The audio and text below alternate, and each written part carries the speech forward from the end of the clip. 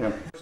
Uh, I'd like to uh, welcome you on behalf of the California Military, California State Military Museum and the California Military History Educational Project. Uh, And today, we're at the home of Colonel Leonard Wallach, uh, at his home in West Hills, California, and today is the 24th of June, uh, 2003. It's about uh, 20 to 11 uh, Tuesday morning. And so first I'd like to welcome you, Colonel Wallach. Thank you. and, uh, Thank you. Have a chance to, You welcome me to my own home? uh, know, right, welcome to your own home, but welcome for the opportunity to vi- interview you today. Uh, And one of the things that, uh, going over in our, and of course, I really appreciate the opportunity to visit with you today. And I did want to chat with uh, you about some of the things we spoke about earlier. And, and uh, since you had such a varied experience and your life has been uh, multifaceted, uh, part of it is where you came from, what really shaped you. Uh, And where were you born? That- I, I, I really thought that was interesting. I was born in uh, Tripler Army Hospital, which, which in those days was located on the, at uh, military base in Hawaii, Schofield Barracks, and we lived in a little, very small hick town, Haleiwa, which, if you don't know, means uh, house of little bird, or house of the east sun, or something like that. Typical Hawaiian, uh, blow smoke at you. And what, what year was that? I was born in 1927. And what month and day? December 6th, one day before the thing, yeah. only a few years later. Yeah. And, and what was it like being raised in Hawaii in a military town? Oh boy. Well, let, let me just go back. My mother's Hawaiian, 100%, and her name is Haleiwa. And I, I don't know if the town's named after her or she's named after the town, but it goes way back. She was a very gentle, very sweet, very small, unlike most Hawaiians, uh, very small. And of course, my memory is uh, may betray me, but as I recall, she was quite beautiful. Uh, my dad was a regular Army corporal at that time, soon to be sergeant, and he was a hard ass NCO that you didn't mess around with. And it was an interesting combination of her sweetness and gentleness and him being the tough guy. Um, he was from New York City. He grew up in um, what they call Hell's Kitchen. And I think that probably made him so tough. Because he was. I mean, he was, Oh, he, he never took that toughness out on us physically. Well, one time he did. He smacked me one time. I'll never forget that one. uh, but he had this uh, disciplined attitude. You know, structure and discipline is what makes a soldier. And so I'm growing up in that atmosphere. And of course, I'm surrounded constantly uh, by regular Army folks that, uh, even it's peacetime, we're still very, um, I, don't want, I don't want to overwork the word structured, but organized and, and purposeful. And these principles of the, the value system of the Army was embedded in all of us. I mean, I would no more think about being a coward than fly. Not because I was brave, but because I was afraid of my father. and uh, so some of the stuff we did. And the same with my sister and my brother. They, they all wound up being in the military too. So And you were the eldest or the youngest? Or? I was youngest. And uh, the, shortly after I was born, my mother died. And uh, so that kind of, that and World War One, World War Two, excuse me, splintered the family. We, we were never together again, really.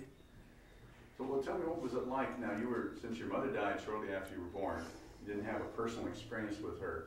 What was it like with a, with a father who was military? You're raised and going around, and you just obviously didn't spend all your time in Hawaii. No, I did not. They, we had kind of an extended, well, not kind of an extended family.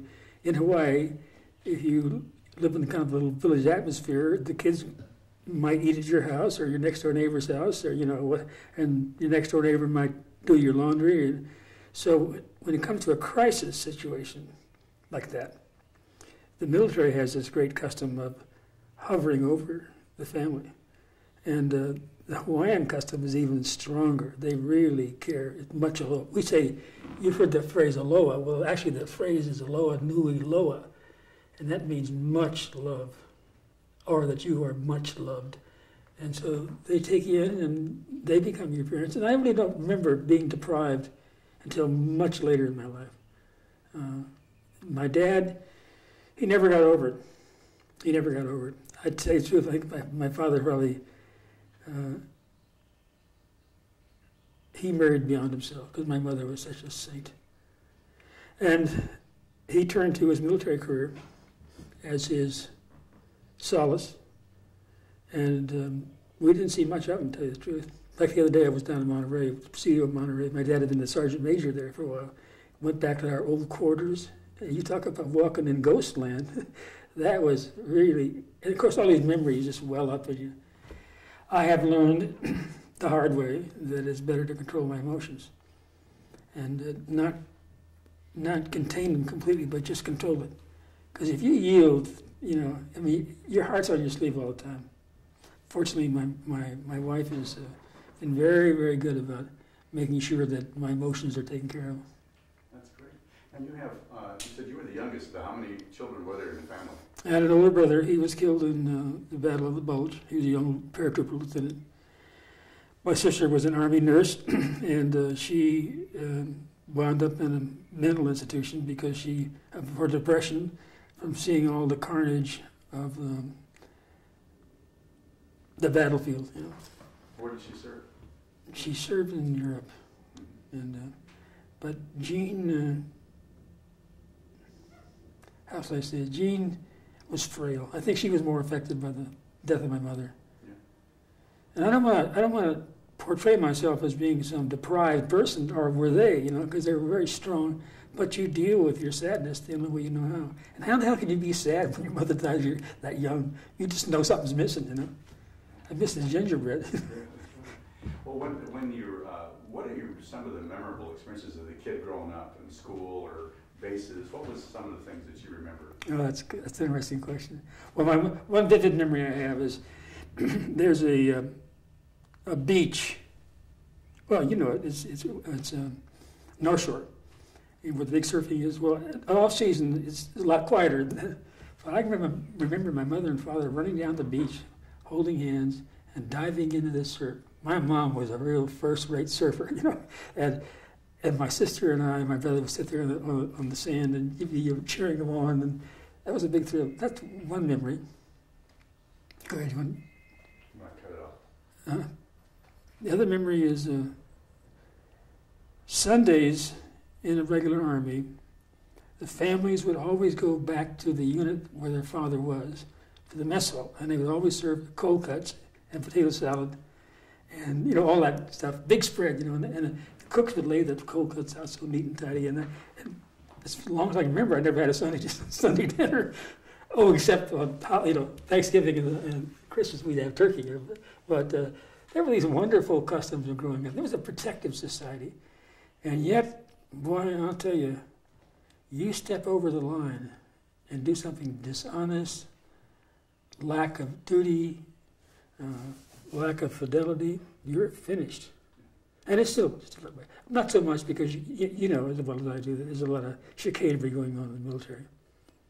Um, the other thing is, soldiers in those days and families did not whine about what happened to them.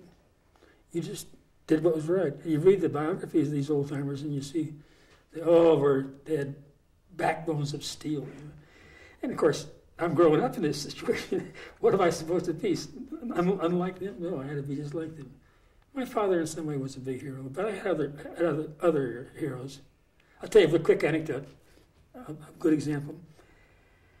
My father's commanding officer was a full colonel. Now, remember, my dad was barely a staff sergeant for this. Maybe, maybe he was a tech, I don't know. Anyway, the guy, and I won't mention his name, uh, uh, was a, a real drunk.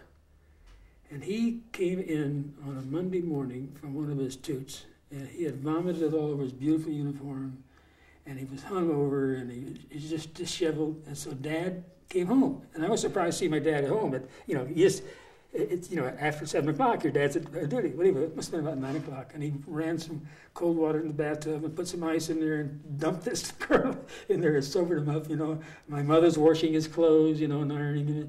And by about one o'clock, the guy was ready for duty. You know, well, can you imagine that happening in the modern army? No way, no way. So when you see that as a little kid, it makes an indelible impression on you. And one of the reasons that I, I suppose that uh, I've become kind of a hard ass to everybody is I just don't believe in being weak, you know. And so if somebody's weak or somebody exaggerates around me, I, I don't want to be around it.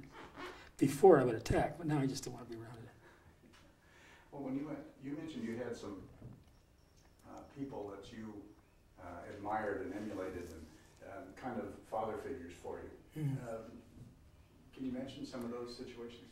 Yeah, one guy, it was in 11th Airborne, it was the 511th Parachute Infantry, which is the most elite parachute regiment, period. Okay? And for me to get into that was just remarkable. It was really an accident, but it was remarkable to me. I thought I'd been handpicked. anyway, we had a Sergeant McIntyre, and McIntyre was one of these old pro soldiers that benevolent to his troopers, but he'll cut you to pieces if you don't do your duty. And we were competing for a three-day pass, and the war was over, and we were now up in northern Japan. And if we get a three-day pass, they gave us enough time to get down to Tokyo, spend a day there, and a day getting back. And so, boy, I polished my boots and pressed my uniform, we polished my brass, and I, my bed was made perfect and everything. And somehow, in the course of cleaning my rifle, I forgot to clean the barrel. And uh, Sergeant McIntyre and the, another guy, Corporal Linnemoot, who was my squad leader, came down. You know how they slam open that tear and they put their thumb in there that reflects, man, there's nothing but lint there. And he chewed me up one side and down the other for almost an hour. And then he gave me my, gave gave me my pass. That's the old Army. That's one experience.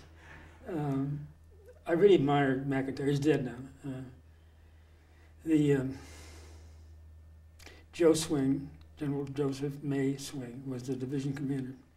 At that time, he was a two-star, and he was in the same class at West Point as Eisenhower and Bradley. And that was a class. I think it was class of 1915. The stars fell on. Know, all of General. Also, the class that did the Pancho Villa raid which, by the way, my dad was on. I don't know much about that. I just know it was one of the big lies he told me, but I'm sure he did it anyway. Joe Swing was patrician. He was handsome and uh, gray, almost white hair on the side, and he had this jaw. He just looked like the, the ideal soldier. Back Westmoreland looks like him, um, and uh, we had a thing called swing time, and General Swing would start, we would all go out and run. Whole division, you know, I mean, a jillion men go out on this run, and you you were given a head start based on your age and your rank. Of course, the old man got the head start, you know. And uh, so the soldier would, would chase his ass all over the place trying to beat him. Of course, nobody ever beat him. and, uh, but he hated, despised weakness in his officers. And he, he relieved more officers than, I mean, he was, this guy was really, really a great warrior soldier. Um, and um, he married the daughter of the chief of staff. Uh, uh, oh, boy, I got him in a block. Um, March, General March, Peyton March. Peyton March and MacArthur were at each other's throats all, all these years. Anyway, he had contacts. I mean, he had really high level contacts. I mean, we had friends, classmates like Eisenhower and Bradley. That's not too shabby. And you're married to the daughter of the chief of staff. Uh, you know, you got some juice in it. So he would he would do stuff that nobody else would take a chance on. He just took chances, you know, and uh, but always his troopers. And he always talked to you as a trooper. Uh, and he made a point to come down at the squad level, you know you'd be on the you'd be on the the range, but if you're out on a patrol situation. Remember when the war ended, we weren't sure which way the Japanese were going to jump, you know, because we had had enough experiences to know that that, that it could reverse itself. And uh, so he'd go out on these patrols. This two-star general's out there walking on the patrol, you know, and uh, he took he, he he God, it's stuff that guy did. They had to make a raid. No, they had to make a mission and they couldn't get an airplane. And I think this was in the Philippines, as I recall. So they got a little Piper Cub type airplane, and he put two guys, one up in the rack and one in the back seat, hanging over the pilot, and fly them in and drop them off. And he made about 25 trips to get these troopers in there. That's the kind of guy he was. So when you're around people like that, there's a saying, if you want to be great, get around the near great. So the constant example of being around somebody like that. And later on, years later, I became his aide de camp as an officer. But this time I was a buck private. Maybe I might have been at that high rank of PFC. anyway, Joe Swing, and I met his daughter and, and knew about his son. And um, Mueller thought the world of all of them. But Mueller also would tell you, John Mueller would tell you that he'd kick your butt, boy, if you didn't conform. But he got to relieve everybody. The division was selected, Joe Swing was selected to bring the peace treaty, no, the surrender document back to D.C. And Joe Swing was the guy that had to choose the, the courier. So he picked Tom Mesereau. And Tom, Tom was either a major or a captain. Four-year football player at West Point, you know, real hard charger, combat guy, you know, done everything, you know. And uh, I think he was on the drop. Or, anyway, he chose him to take it back. Why would he choose a guy like that? Because he wanted to show people what kind of a unit they come from. And the, the 11th constantly was in trouble uh, with, we get in fights with the first cav and, you know, just make asses out of ourselves. But again, it was always this pride we had that, that we were good at what we did. And, uh, but if you did something wrong, you committed a crime, you in the 511th anyway, you would go into what they call Ponce's rest camp. Ponce was a, the, sergeant, the, the provost sergeant, and he was cruel. So the guard detail was housed in the prison, I mean, in the, in the stockade. And you'd see this this this Nazi working our, our troopers over, you know. These guys are bad guys anyway, you know. And uh, so you, you have this, the other side of this thing. You, you know, there's punishment for stuff that you did you did wrong. So you didn't do much wrong. He was he was a person that you um, uh, modeled. Yeah. Your career. I do a lot of reading and I, a lot of biographical stuff. And I've gone way back beyond the Civil War. I mean, the, Revolutionary War, back into the War of 1812. And, the lives of the, the presidents who were who were soldiers, and uh, like Lincoln took on a mob who wanted to lynch this Indian. Get that? The, the, ultimate president. He takes him on and he says, "Come on, take me on." You know, this is the president. this is the guy going to be president. He's that that kind of. That looks to me like something I got to be able to do. You know, George Washington uh, had this he was probably the only brilliant general in the Revolutionary War, and he he had insight into what we should do and shouldn't do. Teddy Roosevelt, as far as I'm concerned, was a fraud. He, he didn't didn't make the charge up a San Juan Hill, and he took credit for it. You know, well, you don't need to do that. So you had a lot of people that you were able to model over your career. Oh yeah, yeah. And as a kid, Christ? yeah, and as a kid, as a kid, um, those people stood out. Mm. Um, and as a youngster, what was it like uh, as a youngster going to school as a, and, as a military brat? Now you were, father was a career military. Yeah. So tell me about how his career affected you as he became officer himself. Well, most of the kids originally, my first couple of years in school were, many of them were Army brats, and many were Hawaiian Army brats. Um, but I was small. I was a little guy, and uh, uh, most of my classmates were big, especially if they were Hawaiian. So I had to hold my own, you know, and uh, I often couldn't hold my own because these guys were tougher than me. And uh, but uh, I remember coming home to my mom and saying I got the shit kicked out of me, and uh, she said, "Well, go back and kick the shit out of them." You know, I never heard my mother swear again. so uh, you, you, know, life's lessons are they're there all the time. You know, even today, even today, I'll leave this house and I'll go someplace, and something will happen, and I'll have to have a new lesson what my behavior should be. I, I work out at a very wealthy gymnasium here. There's a couple of guys that come in and they just really think they're something. And one guy started making remarks one day about President Bush. And so a friend of mine was there, and I said, You know, I don't need to hear this from you. And uh, so I hurting your feelings? so I got up from the bench, bench press, walked over to him, put my finger right next to his nose, and I said, No, but I'm going to hurt you. And I, I don't know if I could pull it off, you know. But I stopped, you know, I stopped. Or I could have let it go by and crawl out the door whimpering. But I stood up for what I thought was appropriate. Diana says I'm nuts. and I probably am. But again, it always goes back to that hold your ground, hold your ground. Uh, I did that well, we talked about some people, you know, that- we've had to do that with. uh, But I was little, and uh, I took up um, swimming and running. I was swimming because I'm Hawaiian, uh, and I did very well, both locally and nationally on that one. How, how did you get involved in running? I you've been doing that your whole life. The army, everybody runs in the army, but I got, to, I got to. How did I get involved? I could be successful. Every step was a success. So they were beating me at the, the five the five thousand meter, ten thousand meters, and the mile, and you know, and the marathon, but they couldn't beat me on the distance. So I found my little niche in the distance stuff: fifty miles, hundred miles, six day run. You know, so you know, I I made my way. You know, and the, after I got into it, uh, one year I ran four and a half thousand miles in a single year. It was 1976, and I used that as my salute to America our, our 200th anniversary. And um, nobody runs four and a half thousand miles in a single year. So now I've got it done, I've got to go find something else to do, you know. And uh, so, of course, I'm, I'm, water, water oriented and more towards sailing and scuba diving and, and uh, that stuff. But I, even there, I found that I had to do something besides spearfish, you know. I mean, I used to spearfish because we ate that, but ridiculous. I have to do that forever. So I got into competitive swimming and I did very well, very well. So when so in school, what was the thing that, that kind of uh, began to allow you to discover yourself as a teenager in school? Where, where were you in school at that time?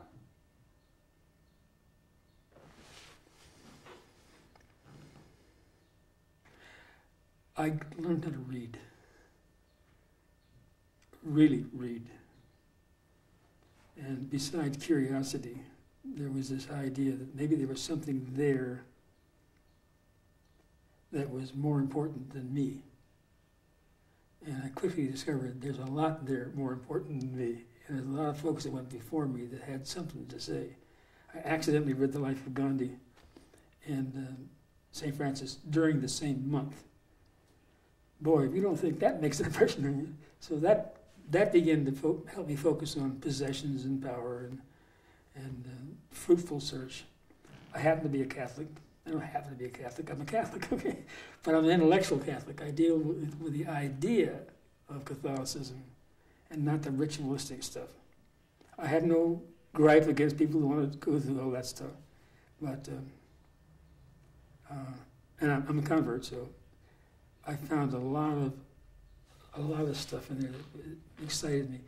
When Christ spoke directly, you really better listen because he had something to say and he said it with great force. Remember when he came down to the Sea of Galilee and all the the fishermen and hobos were down there and he said, Come be fishers of men. It wasn't please, come be fishers of men. And then at the feast of uh, of Cana when his when at the wedding feast when they ran out of wine and his mother came to him said, We ran out of wine. So he said to her, Woman, what will you have me do? Not mother, but woman, you know. And uh, then when they cured the leper, and only one of them came back, and he said, "Where are the rest of you guys?" so I began to read into that his personality. I want to know about the personality of, of him, and and not because I was studying Catholicism, but I the guy had something to say, you know. The, uh, developed a very personal relationship there, still do, and but not not not lace panties. You know, this is he's a real man. You know, and to have suffered like that, there's got to be a lesson in there for me. I don't parade that out there. I mean, you're the first guy I ever talked about that. Diana's a Catholic, and we're both on our second marriage, and most of our close friends are priests. and, uh, yeah, and we just got back from the Life Colony where Father Damien, and that's a big, big thing for me. I, every morning, the reason that, here's how I got to be a Catholic. I have four volumes of Butler's Lives of the Saints. And every morning, since the day I started even thinking about religion, I've read one or two stories of the lives of the saints. Now, I've been through that, that's four volumes four or five times. And you can't read that stuff without getting a lesson. So that answer your question is, yeah, that's something heroic about. I'm fascinated by Father Damien. Um, in fact, I took his name, as my baptismal name. I had one very clandestine, very brief clandestine, nothing heroic assignment in the military, and I chose the name of Damien Anton. Damien after Father Damien, Anton after St. Anthony. You know, you figure that out. but he's, God, what a man he was. So, you know, I'm, I'm, passing through one time. And uh, it's easy for it's easy to get caught up in all your accolades and your achievements and, and miss the, the thing about self development. See, we got a big problem in the military. Every time we turn around, every time we pee, we got, got to get a medal, you know? You know the kind of folks I'm talking about. And if we can't earn it, we can, we can manufacture some way. I've been challenged a couple of times on that stuff, and um, I just don't respond to it. Um, you notice there's no place in this house that the medals are hanging up? You can go any place in this house, even though they're in frames, they're not hanging up, and they never will.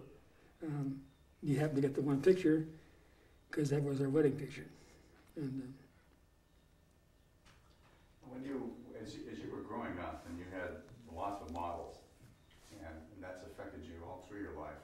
Now, when you were in high school, uh, before you finished school, uh, where, where was that school?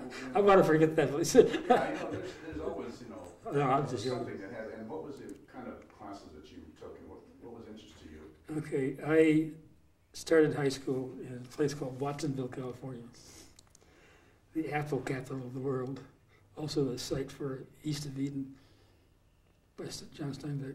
Um, I was again very small, and these were all farm kids that went there, big farm kids, and all very, very wealthy Slavic people who owned all the ranches. This is the setting for of mice and men too, by the way. And I couldn't find my way.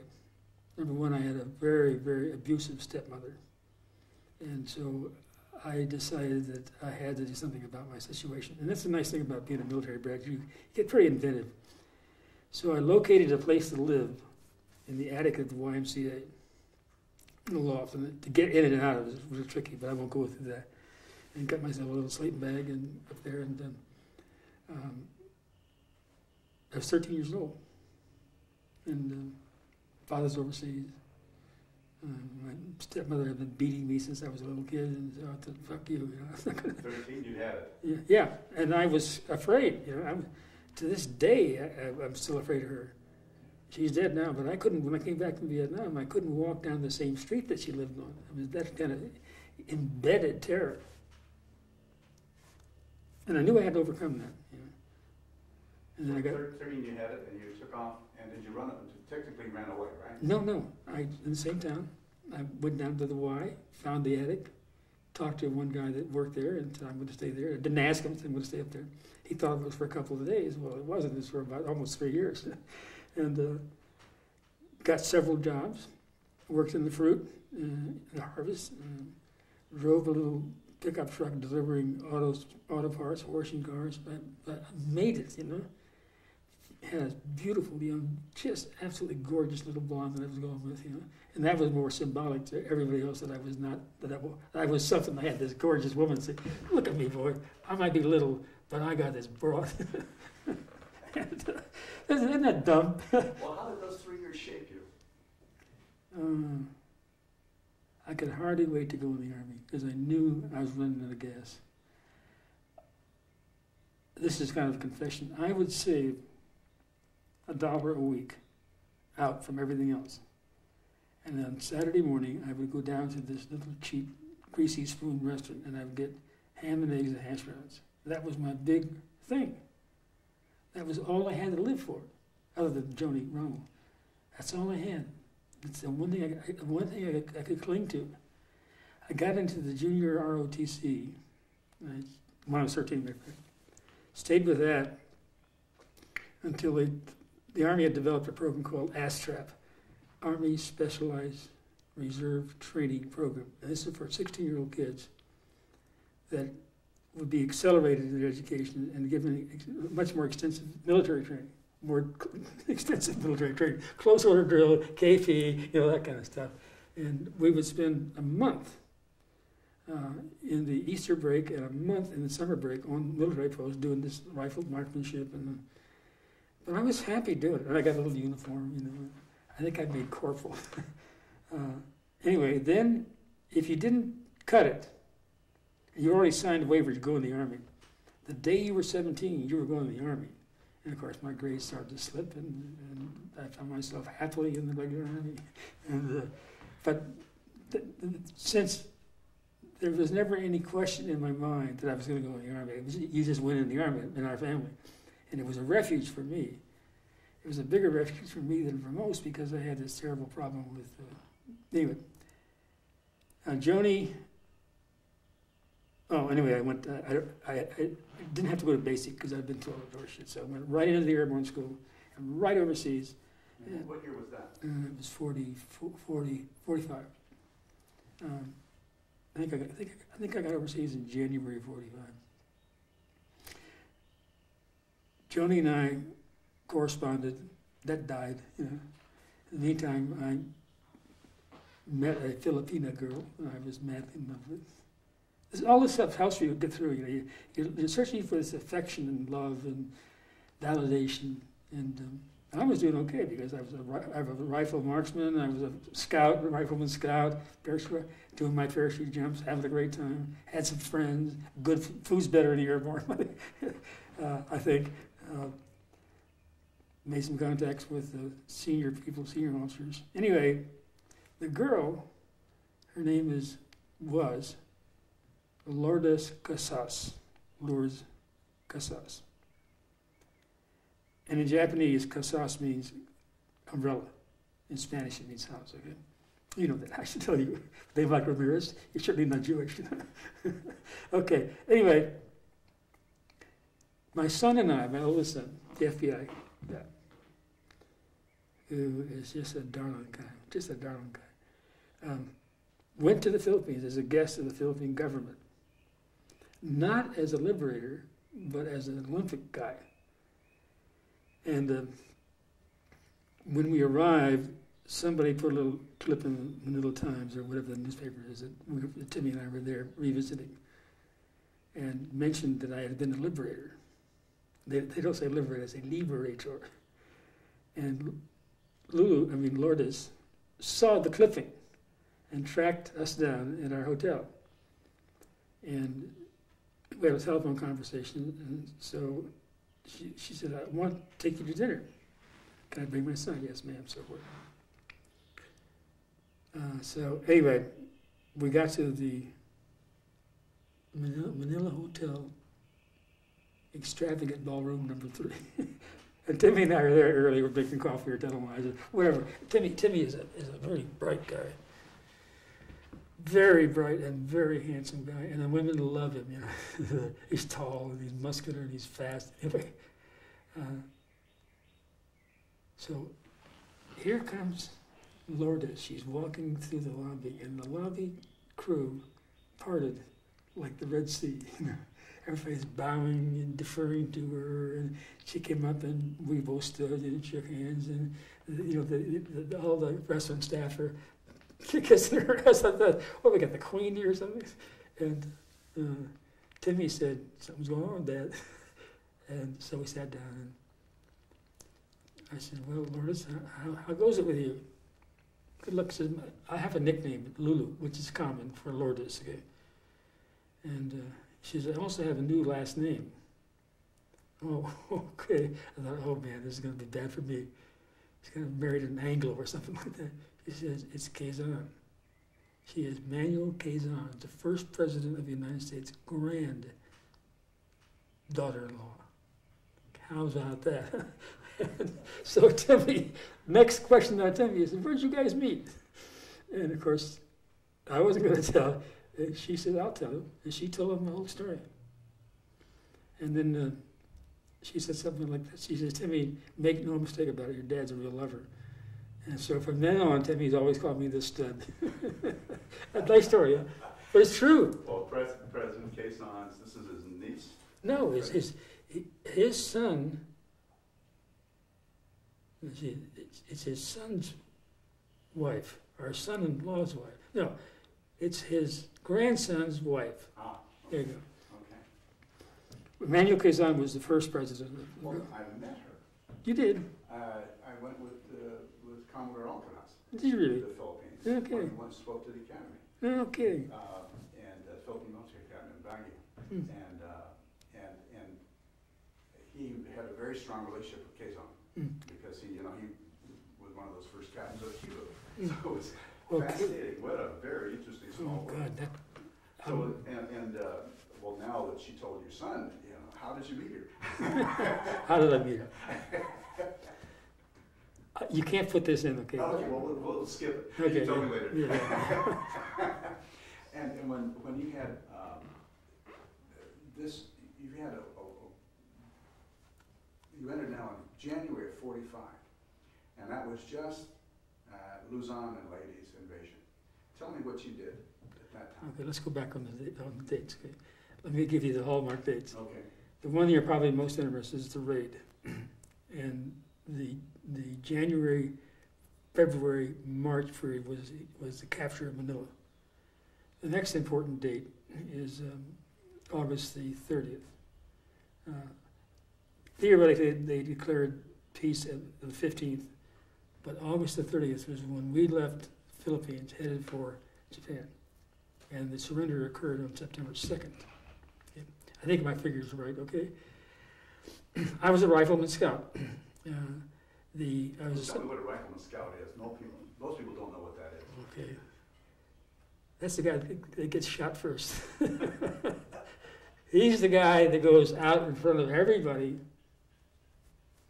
with his M1 rifle and a couple rounds of ammunition, a day's rations, and tries to see what's going on out there. He's got a patrol behind him, and uh, usually about 12 men. It's usually one squad. And what's the distance between the, forward scout? Scout guy, he's probably out there 500 yards. Depends on the terrain. If you're in the jungle, uh, they're not going to pick you off. They're going to pick off the second guy and let you go through. And uh, so the trick was to try to be so observant and so stealthy that you could spot any kind of a foliage break, whatever. You know, elephant grass, stuff like that is easy. It's easy, easy to see when it's been disturbed. Japanese were very clever, very clever. And they were very good soldiers. The reason the Japanese soldiered so well was not because they were good soldiers, but because they were afraid of their NCOs. Their NCO used to beat them, literally. So they were highly motivated to fight you rather than the NCO. And, uh, you know, and I don't think it's ever come out. Um, the, um, maybe it did, I don't know. Um, my impression was uh, I had very little contact, almost zero. Um, went on that, went on several patrols, come back with limited amount of information. F company was not involved in the drop. B company was, and B company was a composite on the um, of the of the 511th. I mean, guys like our friend, know, he claims a lot, but the truth of the matter, he wasn't. Um, the Battle of Manila, in most cases, was door to door, or house to house. It was very confusing period. Well, tell me the units, uh, the names and the numbers of the units that you were involved in and how they were involved. You mean in World War II? Yes, in, in, in as far as, uh, in the Philippines, so we know. I was, So, I was only in one, F Company 511, you know. Uh, well, wait a minute, take it back. I, I, I, the when the when the 511th was headed for Okinawa and then to Japan, I was re- I got I got a small boat background. I'm a really fairly good small boat, small boat guy. I'm also a very good survival guy. That sounds God, that sounds vain, but it's true. I'm good. I said, look at me, I'm still here. but, uh, I was sent down to Zamboanga, and ostensibly to do some. It, it, the, the jargon is search and rescue now, but it wasn't then. You just go down to Zamboanga. You know? And Zamboanga is the heart heartbeat of the Islamic part. Forty-two percent of that area is Islamic. In Mindanao. Yeah. And that Zamboanga is a site of all the bullshit that's going on. And um, this is also where Arroyo's trying to do her, and, and before it was somebody else, they're never going to solve it. They, don't begin to understand that the Islamic people want a separate nation. And, you know, they got 7,070 some odd islands. Give them, give it to them. They won't do that though.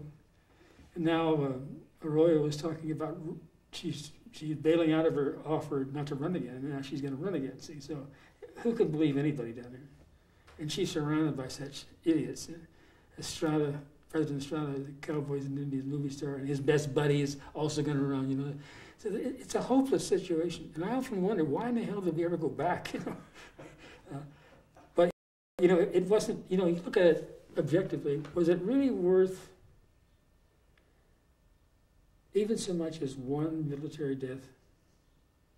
MacArthur returned because MacArthur shot his mouth off about returning. Um,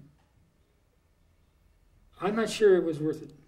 We certainly didn't change the Philippines. And look, now there are our enemies. Same with Japan, same with Germany. Uh, we saved France's ass, and so there's, there's this philosophical thing that goes on with me. Is if I had a second life to live as a soldier, I probably would do it much differently. I think I would become a cook. but anyway, I was always in F Company 511. But I went down south. It was either 8th Army or 6th Army, I've forgotten which, that had that jurisdiction. Um, I was there for, let's see, until, God, I would guess, I would guess just about Thanksgiving of 46. Um, that's something, because yeah, I, had- I had Thanksgiving dinner at, up in Morioka. Um, and, uh, but I was having a good time. I was operating my little boat, doing running errands, you know, and And so, and, and that was the whole company? Or just, just part, just the? just me. Just you? yeah, I was, I was detached. I, because they, they needed, I guess on your profile they have that, that stuff in there. They looking for small boat guys. I had actually been assigned to the Transportation Corps briefly in the States on shipboard. But, uh, no, I guess they found, and I, I might have, I might even found out about volunteer to get out of the jungle, you know. I like these cities. I heard the women down there were better, better looking. The food was better. You know what a balut is? Me. A balut is a duck egg that's it's matured and not quite hatched, and you, you're supposed to eat them. So we, we make this joke about, uh, you know, if you're going to get sent, sent down at Zamboanga, the bal- Zamboanga, the, the, the, the are better to eat down there. so anyway, I had a good time. And, and so, uh, you were detached for that period of time, Mm. and, um, now, as the, now, what happened during that period of time in the Philippines? Uh, You were detached in January, February?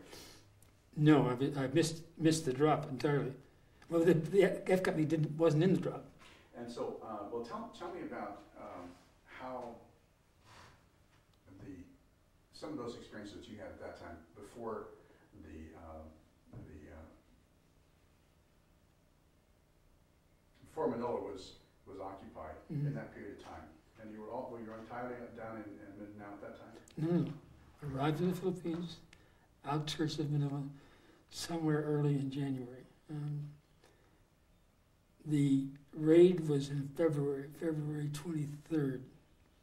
We were still, Tell, tell me about that, raid, because I got a lot of different perspectives, and I, I wanna have a guy who was actually involved in some of this stuff, not necessarily involved in that raid itself.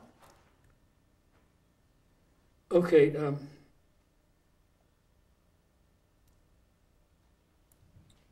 anytime you, you read or hear about it, you've got to sort out myth, lies, and reality. Okay? I think I can do that. One of the myths, reality, or lies was that MacArthur became sensitive to the, the, the prisoners of several prison camps. One is, is rumored that the Japanese pour gasoline on some prisoners and lit them afire. I do not know if that's true. I've never been able to find any documentation. I've heard Filipinos refer to that. And this is not racial with me, but if you read anything about the Philippines, you find there's a lot of exaggeration. You know. They're good people, and, and, and I have lots and lots and lots and lots of close friends. But I don't know if that story is true. I do know that the Japanese were brutal with their prisoners, especially military prisoners. So anyway, MacArthur allegedly had pangs of guilt that we should liberate San Tomas, the one up north with the Marines, which they did. I think, it- I think it was Band of Brothers, it was that story, or you know, who knows. Um, what's the name of the place? Cabanatuan? Covenant's one. Yeah, anyway. And, and matter of fact, I know somebody who lives there in that town, that's here in the United States now. Um, and the civilian prisoners of war, civilian internees, prisoners of war, any term you want to use, uh, that they would liberate those. Let's go to San Tomas real quick, get that away. The CAV supposedly liberated San Tomas, first CAV. But that was a protracted negotiation because the Japanese commander would not surrender. So it wasn't the high risks that our guys had on Los Baños, even though th- th- there was no bloodletting in- on Los Baños. The risk was there, you know. San Tomas, the risk was not that high, although perceived risk was quite high. Well, tell me why, why Los Banos was considered a risk. 59 miles from downtown Manila to Los Baños, And, and, and that was still Japanese territory. 49 miles Behind- Forty-nine miles behind. behind the Japanese line, and there was a, a full Japanese infantry division in that area. Whatever reason they decided not to do anything about it doesn't change the fact that uh, fear, real or imagined, is still fear. danger, real or imagined, is still danger. Uh, so it seemed that the best approach was a combination of factors. First of all, uh, Butch Muller had some pretty good intelligence. And he's very, very honest about this. He, he had he done his work. And of course, there's a lot of exaggeration from lay people who were never there, or people that, that claimed they were there, or people that wish they were there, you know. And the prisoners themselves did some exaggeration. Now, uh, the 2,147 prisoners and 131 paratroopers, of which a couple were Filipinos. On the ground, uh, there was uh, some guerrillas, very small number, and uh, our is that was it was our recon division recon. It wasn't wasn't the Alamo Scouts now. That's a whole different bag. And these are good men. These are all good paratroopers. They'd all been well trained. Many of them were from the, the western states. You know, they grew up cowboys and Indians. And uh, um, so the idea was to do some sorties over and get some current intelligence and got some intelligence on the ground. And then uh, now Muller was not only in charge of the intelligence, he was the operations guy. You know, I don't did that come out in your? Yeah, he was the guy that was going to be making the decisions. And so then he got Hank Burgess, who was a major in charge of the first battalion. The first battalion, maybe, God, if they had 300 men, I'd be surprised. It was a under undermanned, under-equipped unit, and they were going to come in by by these um, uh, which came from another unit, and they were actually diverted for this thing. The 187th or the 188th was supposed to come in by by truck, and um, over uh, Route One or where it was, and do the evacuation by truck. And I've never been able to figure out how they found out that the amtrac's were going to be replaced and the trucks were going to go in. The story I heard that seems to make the plausible sense to me is they were on another mission, would, happen to be near Los Banos as a backup, but uh, I didn't see any cannons in the back of that place. so I, I have to guess as an officer who's got now a little experience, I have to look at it and say, man, it's, the information is weak. now, I know one guy, two guys who actually made the raid, um, Dale Yee, and I became very good friends. We were co-founders of the, of the Joe Swing chapter of 11th Airborne. And the guy that was part of the, the small artillery contingent, three men. I met the guy that was in the, in fact, he's an, SM, he's an SMR guy, the guy that led the, the, the, uh, the amtrac in. Uh, he's a photographer. Uh, I'll get his name for you in a second. Make a great interview. He's married to a gorgeous woman. Uh, Aiken. Aiken was the, in the first amtrac coming in, and eventually became a paratrooper himself, and eventually became the commandant of the jump school. How's that for a coincidence? eh? A lot of that stuff went on. Okay, so anyway, uh, at 6:55, I think the planes took off, give or take.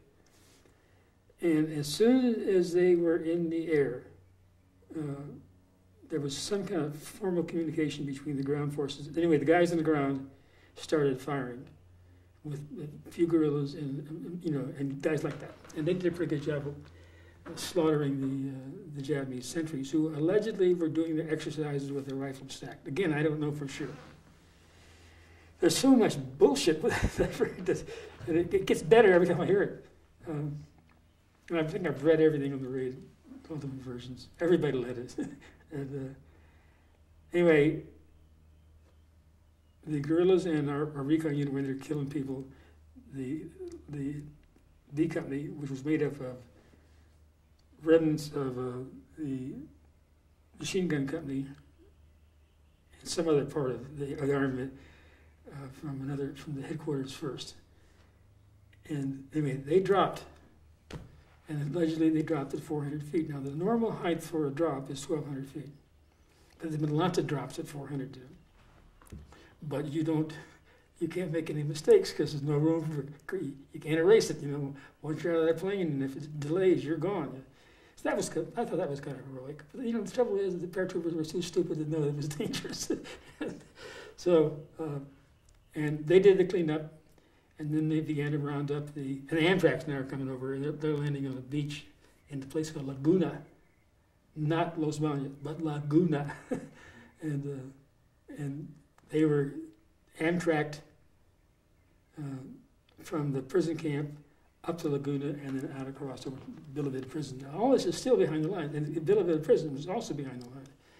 And it's rumored that they burned the, the, the huts because uh, now I'm a, I have a certain amount of scholarship at stake in this thing. Okay? Uh, that it was rumored that they burned everything down because refugees wouldn't leave. I mean, the prisoners wouldn't leave. You know, who knows? Um, you see the amtrac photos that George has got, and uh, you see him in the mud, and you know, and this, I still can't figure out if was ever killed. I, I hear rumors one way or the other. You know, one one says it is, and another says, you know, who knows. Anyway, it was a pretty dramatic raid. Now, had the Japanese felt that that was an important thing to defend, they would have defended it. They're probably just as happy to get rid of those people as, as we were to rescue them. I don't think it was any lack. I'm just guessing now, okay? And make sure, make sure that I'm just guessing. There have to be a tactical reason for the Japanese to attack. And in the absence of one, I suspect they were probably relieved. Now, kind of an anecdote to this. Guy by the name of Konishi, I think, was the commander of the camp.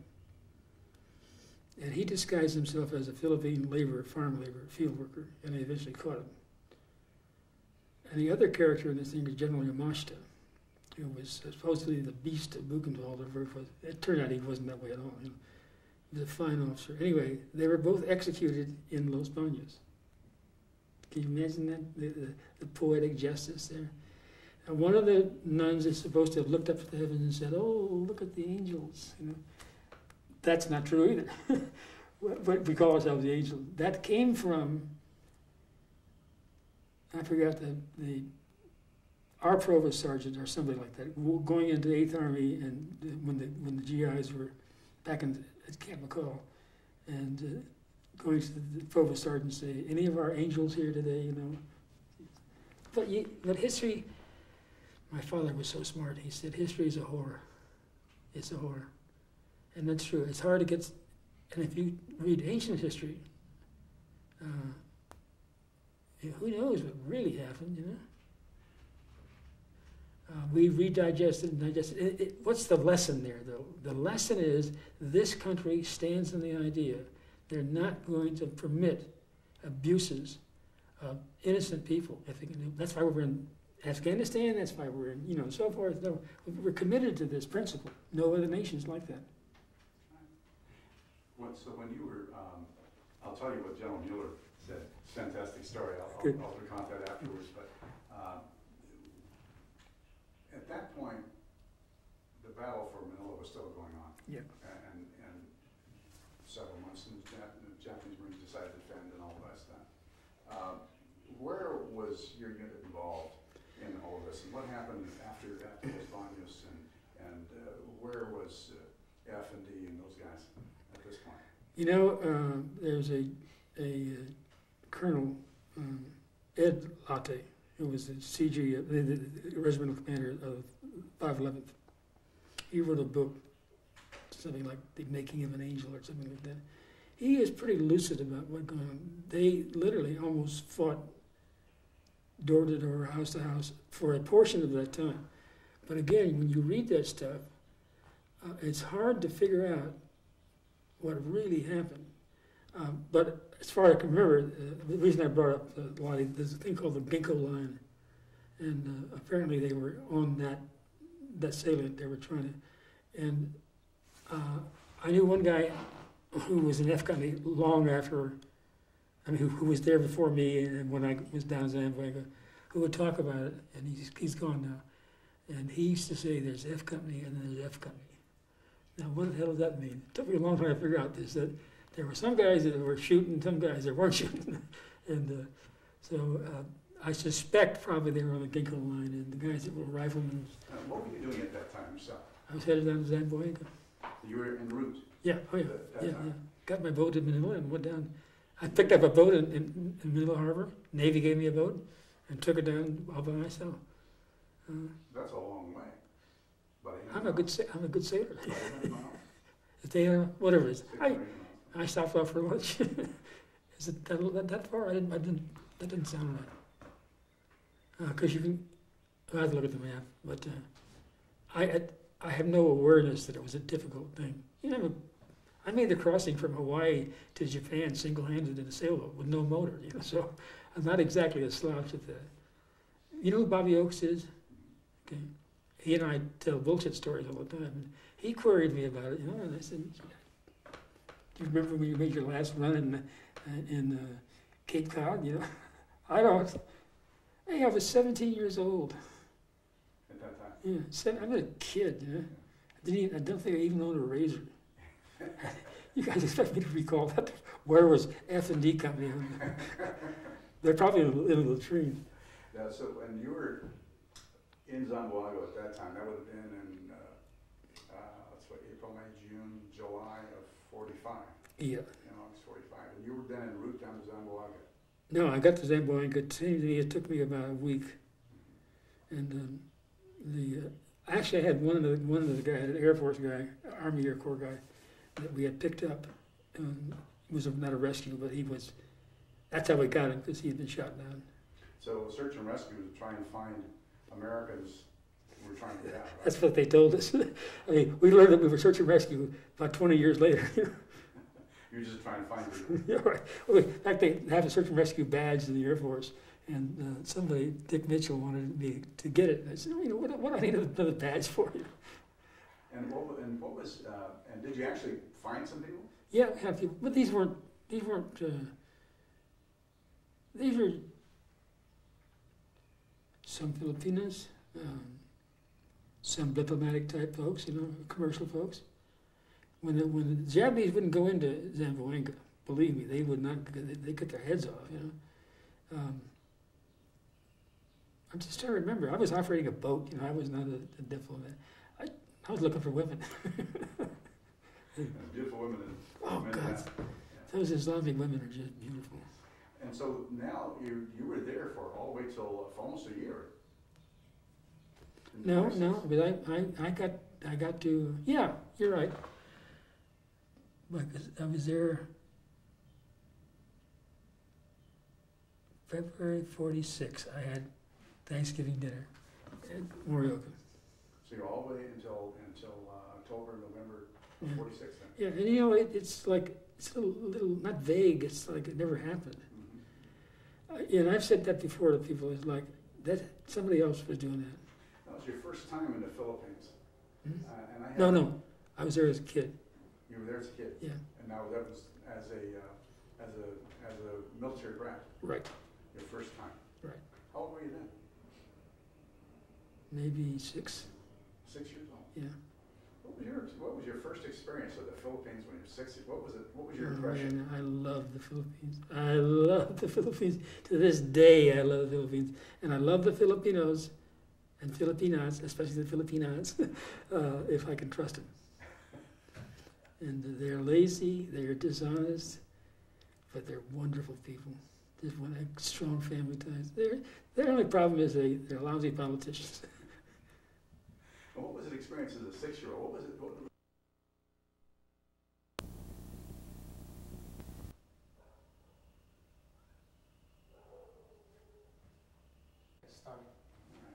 Uh, we're starting on tape two uh, of new Colonel Leonard, uh, Leonard Wallach, and we're at his home in uh, West Hills, and it's the 24th of June, uh, 2003. Uh, Colonel, uh, we were just winding down our first tape with some of the time frame that you're involved in the Philippines um, as a uh, search and rescue in Mindanao, Zamboanga. Um, and uh, you were there at the time uh, that uh, the war was declared over. That, or were you still Manila? No, I was at Zamboanga. Okay, and, and what was what was the news like when you finally got the news that the war was over? You know, I, I saw that question on the questionnaire. My my first reaction was, uh, I don't remember. You know, that was my very very first reaction. And then I started doing some thinking about around that situation, and my problem became I've listened to everybody else's story, that their story almost became my story. And you may remember that I took a group back to Japan the surrender. You know, and Yeah, okay. Uh, Colonel, when we were talking, we were talking about the, uh, uh, the news that you received that, uh, uh, well, first let me back up a little bit. A lot of people heard about the atomic bomb, but nobody knew what it was. mhm. Um, Tell me what, when you got that news of Hiroshima and Nagasaki, and and what did that, how was your response to that? I guess my, I gotta, when I answered, I, I gotta discern what, what I know now and what I knew then. And having been to Hiroshima, my impressions, first of all, I I certainly wasn't technically oriented enough to know what the hell it meant, you know, technically. Uh, I just knew it was a big bomb, you know, and for my mind, it's like a big firecracker. um, so much of that period of time, as I said, I kind of develop other people's view of things as though they were my view of things, and I wasn't even there. You know, and that, that's a fairly bad habit with with uh, nostalgia. Um, And now, when the war was over, where, where were you when you got the news? Zamboanga. And were you at sea or? uh, No, I believe- under him, but leave? You know, there's seven thousand islands in the Philippines. We were operating on all those islands, you know, and those specifically down in that area. Um, I had an interest in Magellan, who would you know come come in that area. So I was always looking for somebody who had something to do with Magellan. As scholarship was beginning to develop in me. My my feeling later on, especially when I went to Nagasaki, and this was shortly after the war was over. I had a chance to come back down to the PI from Japan. Um, was the scope, not so much the horror, but the scope of the damn thing. You know, I mean Tokyo had been firebombed, and I and so Yokohama. You know, I saw a lot of that, but the scope of that one was just overwhelming. And then when you go start through the later, I made a subsequent trip and go through the museum and see what. You know, I never felt any national guilt. Um, you, if you look at the history of World War II, its origins, you better take a closer look, you know, as to how it really started, because it's too easy, it's too simple to just blame it on the Japanese. They had a, they had a point of view, and um, what did, the question is, was the conflict worth anything? And that's a real fundamental question, especially a soldier's got to ask. Did all this difficulty, pain, death, anxiety, destruction mean anything? Hell, I don't know. I'm just another guy walking down the street. I worry every day about, my kids that are in danger, and uh, I have to ask, you know, is, is, it, is it worth it for them? I don't know. Is it worth it for us in LA to get on the drive-by shootings? You know, it's, it's insane. Look, the world's crazy. It really kind of, kind of comes down to that, doesn't it? Um, I went back to I went to Paris as part of the Olympic thing, and uh, went to the their military museum. And eighty-six Olympics? Mhm. No, was it eighty-six? one? Eighty-four. Eighty-four Olympics, that's right. Okay, but I went right after the games. Yeah, the, one of the one of the great benefits of being involved at the level I was at is that you get a lot of goodies, you know, like a free trip. No, I think a month before the games, but they, they were paying for it anyway. So I went to the um, the, the, the, the Francis Military Museum, and that's where Napoleon's buried, you know, in the big tomb. But what they don't tell you, they had this. It looks like acre and acre and acre and acre of ar- artifacts. And that's the largest military museum in the world. But you know, France has never won a war. They've won a couple of battles. And the, the French Foreign Legion, is, Foreign Legion is touted as being so wonderful. I'm not so sure. I'm not so sure. In Vietnam, they got the crap kicked out of them. And I, I go on and on. The point of it is, is warfare an instrument of uh, national policy? And is it, is it an instrument of mankind? Well, I don't know. And I, you know, you, sure you're going to put up doubts in your mind. Did you do the right thing with your life? I got to cling to the fact that I did because if I don't, I'll go crazy. And uh, and I get a lot of a lot of uh, difficulty because I'm strongly identified with the military among young, younger people, and some of the ones that are most brazen in criticism are the least equipped to criticize it. But I got to put up with it. So who knows? When you, when the war was over, you had an option, you could have gotten out. Yeah. And how, what made the choice, and when was that choice made to decide to, uh, reenlist? Well, the Army had a program called Bootstrap. Or it's called that now. I don't, I don't know what it's called then. Remember, I came out of the specialized training program, and I'd always had this this, this intellectual, educational relationship thing going. So now it's 19. It's uh, 1946 coming up on 1947 Thanksgiving. I'm with my buddies, and I was with a couple of really smart guys. You know, one one very very bright priest. And we got beyond the bullshit and got into the heart of some stuff, especially Catholicism and uh, and the history, early Revolutionary War. These guys are from the East, you know. So I was getting stimulated, you know. And most of the bohunks I was with, there, you know, they drink beer and chase women. I did some of that too. But uh, anyway, uh, I had a hunger, hunger for knowledge. And it's nothing I did for myself. It's just that's genetic, I guess. Anyway. And how I hate stupidity. You, in the Catholic Church, we have a thing called vincible ignorance and, and ignorance and vincible ignorance. Ignorance is you can't, even if, even if you tried. Vincible ignorance is you can overcome your ignorance. Okay, so I'm kind of in the, in the vincible ignorance stage of my life. And so uh, I knew I'd be coming home in about a year, a little less than a year.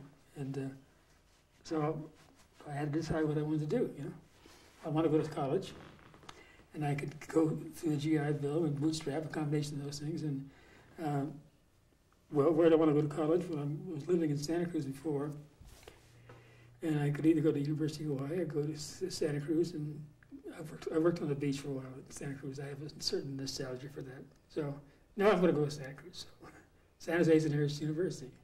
UC Santa Cruz did not exist at that time. And they had a good school of journalism, and I had a capacity to write, a certain capacity to observe and, and feel. And uh, I'm just emotionally overpowered about the idea that maybe I could be a writer. I mean, maybe I might be that good, you know, because I was pretty good then, you know. I could write these wonderful letters and give these wonderful little speeches and stuff like that. And at some point, I had to say to myself, How good are you? And, you know, when you sit down and, and vanity's in your way and ego's in your way, And I had to say to myself, I'm damn good. I'm a good writer. And I could be better if I go to school. And I'm a good historian. And I have an interest in that. And I'm a good humanitarian. I mean, I, I, that, that didn't vocalize it, but that's, internalizing. I'm, I'm being kind of confessional now. Okay, so um, I was now married and had a baby. No, I hadn't had a baby yet. Wait a minute, take it back. This is 47. This is going. So I'm going to school. The Army, I'm in the reserve. Army, I was- I in both the reserve and the guard at one time or the other. Um, and um, the uh, Korean War was smoldering. And uh, hadn't, nothing had started yet. And then June 1950, I am now a junior. And uh, I'm almost broke because I- I just was working, same, same story again. I'm working my ass off to take care of my little family. And uh, um, my wife, too, was also handicapped, by the way. So I volunteered to go on active duty as an NCO. By now, I think I'm a buck sergeant or something, something like that. In the Guard. Uh, because the reason I didn't go in the reserve, because their armory was farther away than the Guard armory. And the unit was the 159th Infantry. And uh, anyway, I, I volunteered to go back on active duty shortly after June 50 when the Korean War started. I've got one combat infantry badge already from World War II, and I got the combat infantry badge. You, you have to be infantry and have infantry MOS and be in an infantry organization to get the CIB. So I've met all those qualifications, except I, I was operating this boat, see, but I was getting shot at occasionally. So uh, I said, "Yeah, I'm going to apply." So I had the old man take care of it, and I got my got my CIB. And if you look at my my uniform, I don't got no stars on that CIB. and, uh, once is enough, you know. Uh, so anyway, go back to Korea. Um, worked my way up to master sergeant very shortly. Got assigned to the 65th, no, take it back, 3rd Division. I got, excuse me, I'm screwing this up. I got assigned to the 3rd Infantry. Now, little old me, smart enough to know that the 3rd Infantry is the President's own, you know, the Tomb of the Unknown, those guys. I thought, man, I got it made now because when I get to come back, I can get assigned to DC. So my, my, my Jeep driver took me up to this remote part of Korea in the mountains. In the middle of the night, I see this little tiny light up in these mountains. Now, the, the Jeeps weren't heated, you know, it's colder than hell. And way up there is this little tiny light. We driving and driving and driving. Finally get into this place, and it's, it's, the light is a mist tint. And um, God, I'm cold. God, I'm unbearably cold. We didn't have parkas, you know, field jackets. Fucked up war. that was anyway. Uh, I go to the mess tent, and I'm going to say you, you call it NCOs called a cook cookie, you know, and I was going to say, hey, cookie, how about some Java, you know, and turn around and it was this old mess sergeant that I knew, and he said, uh, now I'm, a master sergeant. Hey, kid, how you doing? and uh, so I said, sit down and got hot coffee and one of these cinnamon rolls that only only only GI cooks can make. I'm in fucking heaven, you know, and. Uh, I said, man, you, how the hell did you get involved in the 3rd Infantry? Knowing it's an elite unit. He said, well, you know, I, I speak Spanish. Uh, this, is being, this is being wasted on me. Well, it wasn't the 3rd Infantry. It was the 3rd Division, 65th Infantry Regiment, Puerto Rican National Guard. I knew I was going to get killed. so I went back to see him a couple days later. Said, "Cook, how do I get out of this outfit? Because I'm not interested in combat. I'm not the least bit interested in combat, and uh, I got to get out of this outfit. Because I, I would get killed. I mean, no question about it. Because they were they were getting overrun, shit kicked out of them. I was not. I'm not a hero, you know. I already got my stripes, and I'm, I want to go back to school. You know, all the cowardly excuses that one offers. So anyway, he pulled some strings, and I got assigned to the Ninth Corps and then I got assigned to Eighth Army Forward, all within a matter of just weeks. And uh, then when I was at Eighth Army Forward, and that's operating near the Seoul. I got there's a thing called the Far East Military District, which is made up of reservists who were there on in civilian assignments, and um, they would let these guys get into two regular army units, maybe. One was the 8240th, which is United United Nations Partisan United Nations Partisan Forces in Korea. It's a mixed bag of Koreans, and these guys operate behind the lines. And these are all guys that were out of, out of uh, stockades. No, this you, these these are these are real good good troopers. They're just a little crazy. That's all. They're gung ho, hard chargers. Um, how did we get on the stockade thing? I don't know, that's why I was, I was, someone asked, I I got the, Hmm. somehow I got a, that. You feeling okay? Yeah, must be, not going wrong here. Oh, anyway, these guys are legitimate. So th- th- this unit was run by United Nations, excuse me, by Eighth Army Forward, and it was, it was a United Nations very small detachment of guys who operated behind the lines. The reserve component part of this thing, 82 31st, if you compare it to sister units, operated small boats along the coast. Okay, so I'm, I'm, I'm but I'm, I'm an active army guy, and I'm not supposed to be in the reserve here. I'm supposed to, be in this one where they're, they're going to get killed, you know. But I, I pulled my way around and got into the right one, and so I served with 83, 82 31st for a while, and then returned to the United States. So you, you were in a, did you end up actually on boats? Yeah, I was operating a boat up, up, and- up and down the east coast of Korea, doing fun stuff. You know, I don't know what I was doing, but I, you know, you know, I had this big boat. You know, and I was taking guys in and out, and uh, we did some uh, ostensibly doing rescues. I suspect, looking back at it now, and Rick Thomas has told me that probably I was picking up CIA guys. He's a CIA, CIA. Wherever you were directed. Yeah, and I mentioned this to Muller, and he said, "Yeah, probably." And uh, anyway, come back to the states, This I have been, what, fifty-two then? yeah, okay, and some genius told me that the National Guard had developed an officer candidate school, gentleman's course. Now, for me to get commissioned, I'm now 28 years old, 27 years old, and 28 is the top. And uh, I thought, God, I'd love to be commissioned. But I got neither the time or the energy to do this, you know, and I sure as hell can't go and have to do back and forth bending and play, play games with those guys, you know. And um, so I enrolled in officer candidate school. And it was a kind of a weekend warrior kind of thing. But it was, a, you know, had, met all the requirements of, of an active Army commission. And uh, God, I met some great people there. Some great people. Um, And where was that, uh, where was that? Alameda. No, Yeah, and it was the second class. The second, third company, second class, ninth class 1953. 100 guys started, 50 guys made it to the halfway mark, 26 graduated. And there are three of us left alive. And we're having, that's what the reunion's all about. Um, nineteen fifty-three, so it's been fifty years. yeah, and uh, yeah, it's our golden anniversary. But the fact that we all all did well, and uh, but it when I got my commission, uh, and I really believe this horseshit about officers and gentlemen. You know, I really believe it. I believe that we set ourselves aside from everybody else. I want to believe it. You know, um, I want to believe that I was that I had achieved. I valued that commission. And they can joke all they want about OCS or the, Guard OCS, make a difference. It's still a commission. It's a federal commission, and I got it.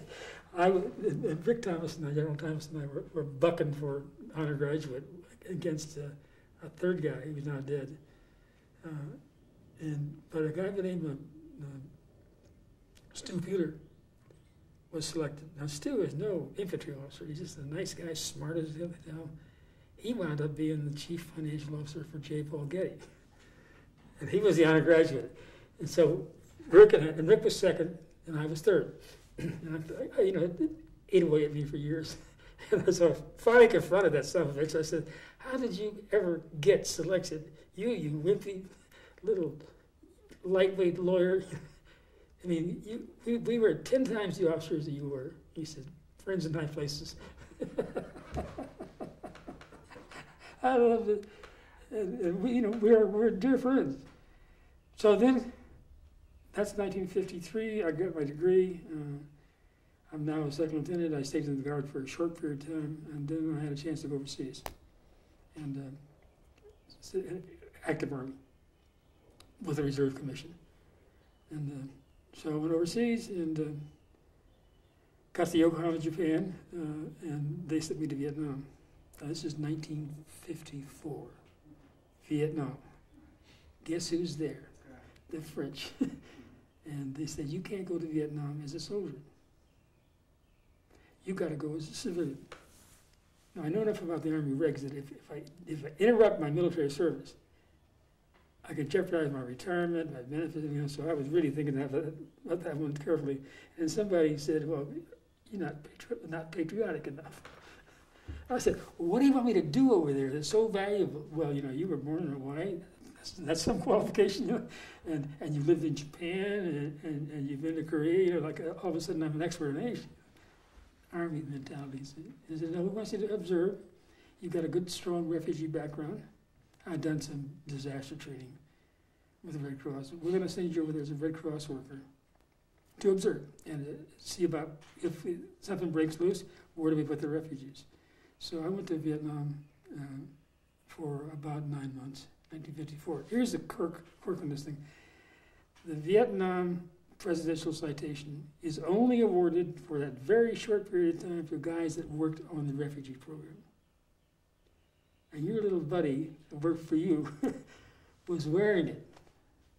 Uh, no way, because there were nine guys there that I know of. But anyway, Lily was, that's a little thing. So I, I did select some sites for for camps, and I did some liaison with the with the uh, French officers and Vietnamese French officers, and uh, I could see that it was a good chance for me to change my career from infantry to civil affairs. Um, it was a very wise decision on my part because civil affairs became part of special operations. And Bill Berkman, General Berkman, who was the chief Army Reserve, was the one that had that happen, and I had been his deputy at one time. So uh, the Vietnam thing awakened within me this humanitarian thing that I got on. And while I may appear to be a real hard ass, I'm really not. Um, I, I really feel for these people. And I wish we stopped killing each other, you know. And but as a civil affairs officer, I know that I know a lot about the Geneva Conventions, war crime trial, the Roach treaties, um, all the various agencies that are supposed to be helping people, and so many of them are skimming it off the top, you know. And I can name one right here locally. uh, but I went through the career course, went through the basic course, and the career course, and the staff officers course, and uh, and I've been, you know, at CNGS and all that kind of. Now, where, where did you take those courses when you left Vietnam? That was fifty-four or fifty-five? Yeah, I started the Hooker. Um, the Maybe public, in, in, The, uh, civil affairs. civil affairs uh, was at Fort Gordon, Georgia. And then they moved the whole civil affairs. When it became special ops, then I went to Bragg. And now, of course, in Iraq, it is crucial, crucial skill. And I thought about hanging on to my inf- infantry, infantry MOS because I, you know, and I wear my infantry brass. I have a good friend who's uh, Colonel in uh, public affairs, Mm.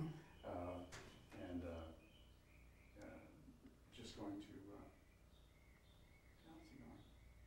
going? To uh, Afghanistan. Mm. Yeah. Yeah, it's become critical. It's a great. Before it was kind of a Mickey Mouse thing. Guy Colom's boy. Guy Colom's son, Mm. Andre, you know him. Help me. He was a airborne uh, special forces guy, and then that's his MOS. Mm. And he just went to public affairs, and is uh, is, is now going overseas, the full colonel. Mm. And, uh, Guard. So just going on that. So it was interesting backgrounds. It was very similar. That's why I was Yeah. You kind of make your own way because if you depend on the army to, to guide your career, forget it. Yeah. And so when you when you went uh, and made that change in Vietnam to public affairs, civil affairs, and you were then a first lieutenant. No, I think I was a captain or a major. Mhm. And so what, what began to happen in your life? How how did that change? A lot of things change when you. Oh, man, I that kind of. Tried divorce. and, well, I got it, yeah, by this time I'm, I'm up to my ass in the running business and, and the competitive swimming business and uh, going through the upheaval of my personal life. And uh, I began to see something other than the Army as my future. And so by 1984, 80 excuse me, 87, it was time for me to kiss the Army goodbye. And, uh, but I, the, last couple of years, I was just an advisor to civil, civil affairs unit. I was very much interested in the Army fitness program. And there's, there's a general by the name of um, Floyd. Anyway, he's way up high in the medical circles. And I cornered him in D.C. about developing an Army wide fitness program built primarily around running. And no fat ass officers, you know. He bought it and, he, and we were able to enforce it. And for that, um, I got the Meritorious Service Medal. Um, Floyd Baker, Floyd Baker. And I, I already had one Meritorious Service Medal. And then later on, the Guard, in, in absent, absent-minded stuff, they gave me the Medal of Merit for that. On my retirement, they said they had to give me a medal to had to find a reason. so they found this thing. And I said, okay, I'll make a deal. Give me the Medal of Merit, because I already got one, you know, and uh, give me also the Commendation Medal, and I'll be very happy. That's, that's the way it works. That's the way it works. This medal stuff is, is a game, you know. And um, same with the airborne stuff, you know. Um, all these generals that wear the little, little puny wings, single wings, you know, basic wings, they do it because they know they can't get through the infantry situation unless they're wearing pair of wings. Um, those that can't do that or won't do that, they, they get to be part of the air crew. Think the air crew wings. It's of ridiculous. And now the Air Force has got a jillion badges the. You got one for the chaplain's assistant and the chief librarian. So, but in my case, looking at my chest, uh, yeah, I did okay. Did okay. Nobody can replicate the glider wings because they don't issue them anymore. So I got, I got you by the ass. You know, my civilian, uh, um, I have a, civilian service in Vietnam, and you don't ever see that one either. You know, very rare. I've also got the um, the uh, Patrick Henry Silver Medallion. And this one? Yeah, that's the that's the uh, MOWW. Um, so it's a matter of kind of planning it so it comes out right, like the Val- the Unit Valor Award. You don't see that very often either. So, so what unit has the most valor? Well, the 511th. And I was in it. So I said to the boss, and the, personal guy said, "I think I'm entitled to wear this. Please verify." Oh, yes, you are. So you got a piece of paper that says you can wear it. Uh, but the truth of the matter is, I did very little stuff that was heroic or even dangerous. And sure, if I would have ran aground in North Korea, that would have been, been very dangerous. Or if some Islamic guy wanted to throw a grenade in my boat, that would be very dangerous, but it never happened. I did get hurt twice. Um, and um, actually three times. And um, once, once in the boat, once uh, in a parachute fall, and uh, once the guy decided, decided he wanted to kill me with a big cannon. At a distance. sorry, just sorry. Uh, but again, I, I didn't. I wasn't. A, I wasn't a hard charger combat guy. But you'd never know it from looking at my chest. You know. Um, Well, when, when you had, you had thirty-some years, Forty-two. forty-two years of active. uh, No, forty-two years period. total. But most all of that. Pretty much, yeah. Um, And if you were to look at your career in the military, what would be some of the best duty that you had that you would consider your best duty?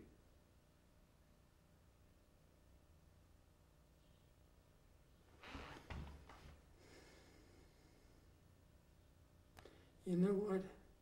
There are damn few men, damn few men, can claim being a rifleman scout in a parachute rifle company. That's an achievement. Dead or alive, that is a real soldier's. That's unreal. And I don't want to do it again, but, but that was. And the second thing I think was um, being Joe Swing's aide, even for a short time. Great lesson. Um, when my dad died, he died in 1964 in Letterman, Letterman Hospital. And he wanted a military funeral. And I was just leaving for Vietnam, so I got a delay of five days. And they had the funeral at uh, Golden Gate National Cemetery. And Golden Gate? Yeah. And my stepmother, that Nazi, and my sister uh, were talking just before this happened about what clothes they were going to wear. And I thought, boy, this is really bizarre. And I'm in uniforms. And uh, I'm hoping things roll real quick so I get out of here. And my dad had a buddy in World War One by the name of Maxie Boucher. and Maxie lost his son. He's a pilot in World War Two and was killed. And my dad and he were great friends. They'd almost been born together, you know, both New York. Maxie was Jewish, my dad was a Protestant. Uh, and uh, other than that, they, they could have been clones. Maxie had, uh, which one is it, muscular dystrophy or multiple sclerosis, where they have difficulty walking? Sclerosis. Okay. And he had braces and you know one of these. So everybody goes through the you know, the gun, guns go off. The chaplain does his blessing. Everybody's got tears in their eyes and wiping their nose off. And I'm sitting standing way back. You know, I'm not taking that flag under any conditions. You know, let my sister and my stepmother have it. They can tear, they can fight over it. And uh, so I stood back and waited for everybody to leave. I would do my my own little prayer stuff by myself. And um, so. Uh, I was waiting for one guy to leave, and it was Maxie Boucher with his crutches, the kind that you hook on your arm, you know. And he walked around. You know, when you're when you're buried, you go with feet first, not head first. So he went around to the to the feet in and was saluting my dad's grave with his crutches hanging on his arm. I thought, man, that's class. that's real class, you know. And uh, so I left with peace. And so that's another little vivid memory. My dad wasn't much of a soldier, but he at least was treated with great respect by both of us. And um, then when I when I when I actually retired, I retired at Presidio in San Francisco at sunset on a Friday. And they have all the flags of all the nations on the parade ground. And the, there's a tree right in the middle that was where um, General um, Pershing's family was burned to death, and the cannon, and the color guard, and all that crap. And we had about seven officers retiring at the same time, and uh, so I said, I'm, what, I- what I'm going to do, I, and I knew the, I knew the commanding general who was, who was going to do, this- do this crap, General Grange, and um, so um, I decided not to wear my decorations, nothing, plain uniform. And I was lucky. I was, was lucky I wasn't wearing my fatigues. and uh, so uh, he went down the line, and I'm, and I'm the lowest ranking officer. There's, a, there's an NCO next to me, and the NCO is crying when they're playing Danny Boy. This is a, this is such a ridiculous charade, you know. so the general came down and he said uh, something like, uh, "Colonel, Major Colonel, Light Colonel, Colonel Wallach." Uh, hate to see you go. So I said, yeah, sir, I understand that, you know. And, uh, let me give you a bit of advice, General. Keep your day job. Who else but me would pull that kind of shit, you know? And it just kind of caps off my whole cavalier attitude about don't get too serious about anything, you know. It'll take you away. I'll tell you, when you get to the Olympic Games, you, that's serious, boy.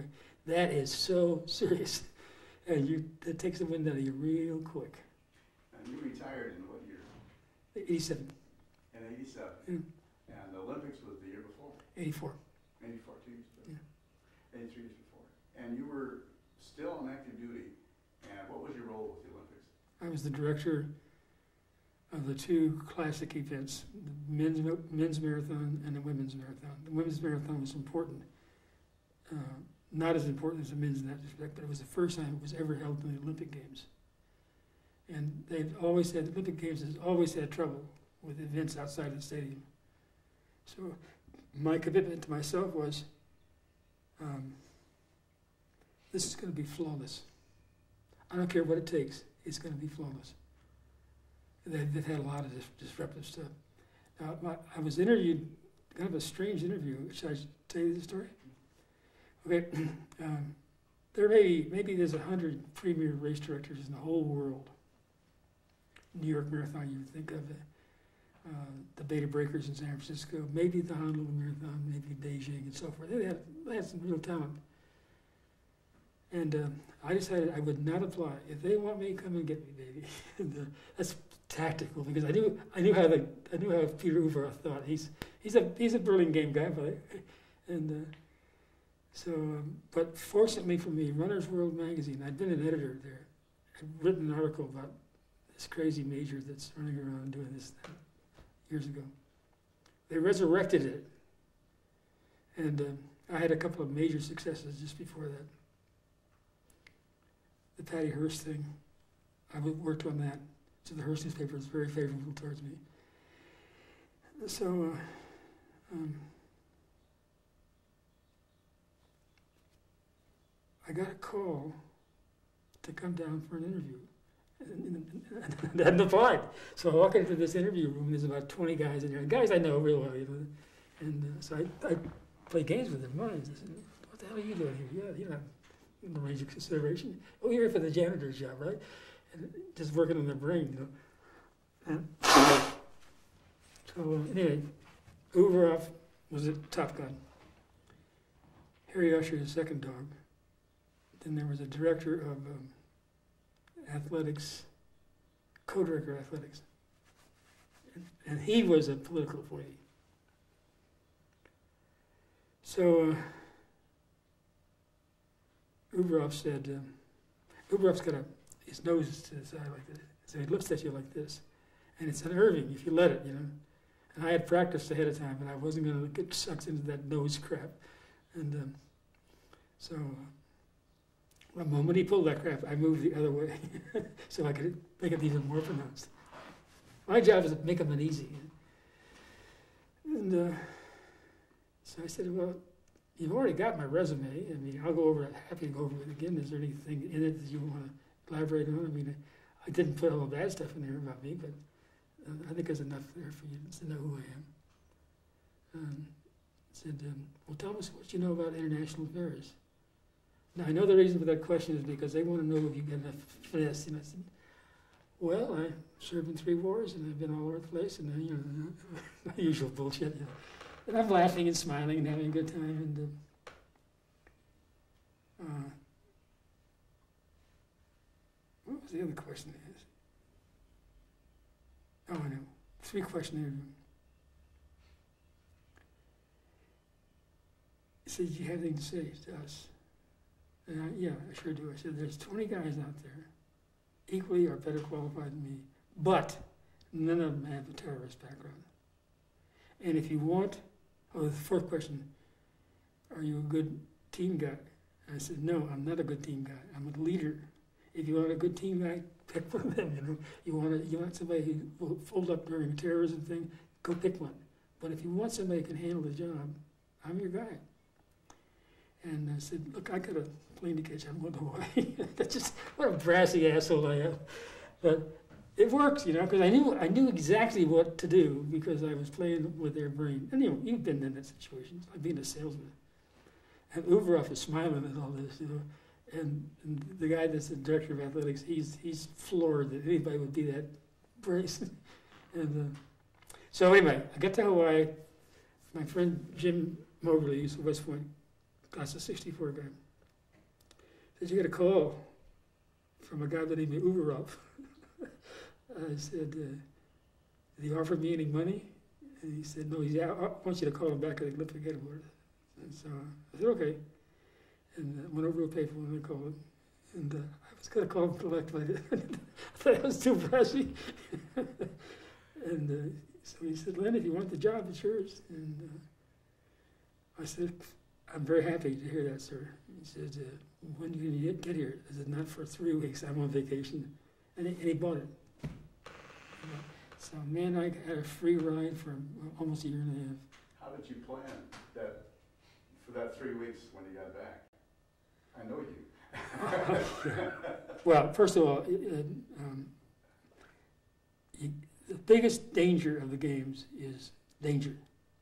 So I had to assemble a crew of about 15 goons that I trusted. I mean, trust with my life, you know, that were willing to lay on the line for me if the time came, and who were not afraid to step in and beat heads because you can't depend on the cops. So I got Buck Swanwick from Marine I told you about, and we, we got God, we got great guys. One guy had, had climbed um, Everest. Those, kind of guys. You know, a couple of uh, uh, um, what do you call it? Uh, CIA types. But they're good men, guys that, I, and, we- and we liked each other, you know. And then I, I figured out the best way logistically to handle it. It's 26 miles from the start to the finish. The finish is only 400 yards, and that's where all the people are, you know. But on the course, it could be thousands and thousands and thousands, plus all these media jerks that just think they, you know, they they own you. And then there was a need to recruit 4,000 people volunteers. But the course had to have a mile chief on both sides of the roadway every mile, and then they had to have crew chiefs every 500 feet, and then they had to have a volunteer every 10 feet. For twenty-six miles? 26 miles. That's a lot of training. So we assembled them in, into a, big hangar in Los Angeles. And we trained, we trained 16,000 people. And, you know, a leader, a great leader is charismatic. You don't have to like him, but you have to be able to follow him. And if, he, if they think you'll go into absolute certain death, they'll follow you. But you got to be charismatic, and he has to be enlightened and in touch with the troops.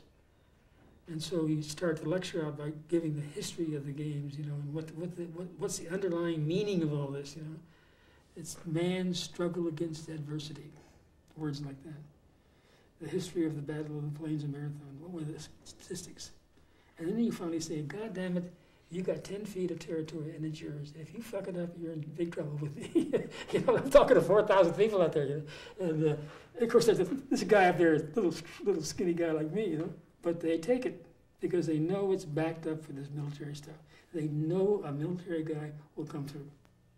And of course, I played, I played on that. And uh, would you say to them, you got 10 feet of fucking territory, you better not fuck it up. and they're thinking, wow, this guy, and the women in the group. And women don't get any special treatment. You got to be just as tough as everybody else. You know? Humma, humma, humma, humma. And it was funny as we were we were on a, we were on a motorcycle going down through the course, leading the, the runners. And when we would come by, they would salute us. I put my put my green beret on just, just to harass everybody. And I, I loved insulting my fellow race directors. And then when the race was over, the, the men's race was over, I went out and got on my motorcycle with my wife, not Diana. That's, that's where I met Diana. And drove to the airport, took the key, threw it in the train, called him and said goodbye. And I never went back. Never even picked up my last check. I was done with, and that's that's my pattern. I'm done with it. I got to do something else. When I was writing my books, I'm done with the book. Let's do something else. Well, you focused intently for a year and a half. Oh yeah, oh yeah. I was on it the time. I ran that damn course every day, a part of it every day, so I knew every. I, I knew it. Well, for somebody who didn't know the Olympic course, that twenty-six miles, covered what areas? Started at Santa Monica Junior College and wound up at the Olympic Stadium and wandered all over the place. Uh, and it's an we closed a couple of freeways, you know. I mean, literally closed them down. But that part of the course was, um, that part of the work was, wasn't that hard, knowing the course. What was hard is getting people to under, understand that they got a piece of territory. And I want you to turn your back to the runners and face the crowd because that's where the danger is. And if you can't handle it, we got a, a mile chief on a bicycle who can handle it. And if he can't handle it, the goon squad will come in and they'll take care of the guy that's giving you the trouble and you. And there, there, there are consequences for failure to do your work. You know how it is in combat. And how did, how would you have said, how did your crews compare Compared to, with others, other Oh. Olympic teams? we were rated in the top ten percent of the entire Olympic family. The first nine percent were de- dedicated to the administrative people, you know, the, the do-gooders. Then we came out. I got a I got a ten thousand dollar bonus. Uh, I was making six thousand dollars a month. That's not and a car and a hotel and this and that. and Diana was a volunteer. She was my her best friend was living with my best friend. Well, listen, let me, Yeah. Somebody can tell me about that? Because you met her then. Yeah, I'll go. Part of this, I, I have to clean up again. A little dust. No, I mean it, clean up. Remodeling dust. Uh, okay. This is- This is Diana, Diana Troffelli is her maiden name, and uh, good Italian. Can you tilt it down? Is that better, uh, Yeah, that's fine. Okay, only because of the glare? okay. Anyway, um, I was one of the few times I was working at a desk in the Olympic Games. Usually you're out there chasing people or, you know, anyway, the things that you do to be a race director. Um, you know, most race directors come up from track and field, they're, they're the coach, you know, and they don't know anything about logistics or administration or command and control. And the beauty of being a soldier, you know more about command and control and logistics, you know, and you can kick ass and take names and get things done. Anyway, I was sitting at my desk and I just got through reading the biography of Omar Bradley, one of my favorite favorite generals. Okay, and um, I've always liked just a ch- charming guy. And Diana came by the desk, and she was a she was the girlfriend of my best friend. Okay, um, and we had some difficulties with that situation, which had to be settled. And you don't you don't walk away from complex situations if you're if you're a leader. You settle it, you know. And so I did. and I, Diana came by said, "What's going on?" I said, "You tell your lady friend, you know, that uh, get her act together, because I've already taken care of it." And um, so, she, and I was reading reading this biography, um, and she picked it up and said, "What what's what's this about?" So I said, "Well, this is a soldier's general. You know, this is a guy that is dearly loved, and sometimes hated." And uh, he has many good lessons for life. And certainly in my case, he was a great inspiration to me, to me in, in the latter part of my military career. yeah. And so, if you'd like to read it, uh, she said, yeah, thumb through it. I said, no, no, no, you don't get the picture, sweetie. You either read it or you leave it here. But if you want to read it, I will give it to you, and I'll leave it engraved with my name. And the, the Olympic, Olympic motto was, as long as, long as the stars are in motion. So I wrote in the book, we're together as long as the stars are in motion. That was, I wasn't making a pass at her, I just, because I was married at the time. And Diane had been divorced about 30 years. And uh, so anyway, uh, we, began, we, we began a friendship. And so I gave her the book, and she said, okay, I'll buy you lunch. Now, lunch at the Olympic Games was 25 cents in the Olympic cafeteria. Big deal, you know. so I said, "Oh, how thoughtful of you! I wonder if you can afford it." I'm joking around. So anyway, I went home, and I then my divorce started. And for about a ten-year period, I kept in touch with Diana, and then finally, I started running back and forth down here, and it seemed appropriate that we get married. Um, I mean, appropriate is the right word, and we, and believe me, we don't mess around. We're, not that. She's not that kind of a lady. She's a real lady, and. Um, I could see where she could benefit from my strength and I could benefit from her, her kindness. And it's been that way. I think I mentioned to you earlier, we've, we've been married now 11 years, almost 11 years. We have never had an argument. And we have never raised our voices in this house, and we never will. So we got, got the right formula. She's been a great supporter, and she's a good Army wife, very good Army wife. The people in the military, like Grand Sergeant Major Lily, Lover. And the Medal of Honor guy, Jon Cavaiani, thinks she's the greatest thing since bread, you know, uh, in terms of for me. And she is, she is. And the big thing for me was would her sons accept me? And they have. And would my kids except for them, except for they adore her, you know. They call this house Grandma's house. so it, it's turned out, you know, been lucky. I've been lucky. No, I've been lucky. We've worked at it. and she's the proper balance for me. Because you see, you, know enough of me to know that, that I come on really strong. And oftentimes too strong. Can I put this down? Yes, please. Thank you. She's a very good balance. And uh, she's a no bullshit lady, I'll tell you. She doesn't take any crap from anybody. She's she's been good in that respect. She's was a little timid when we first started, but boy, she she lays into you. If you're in the army environment, you better look out because she'll cut you to shreds. You step out of line.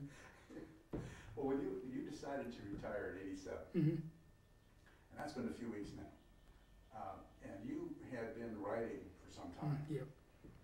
Tell me about how you began an interest in writing and how it developed, because you, you did a lot of things before you more recognized as a writer.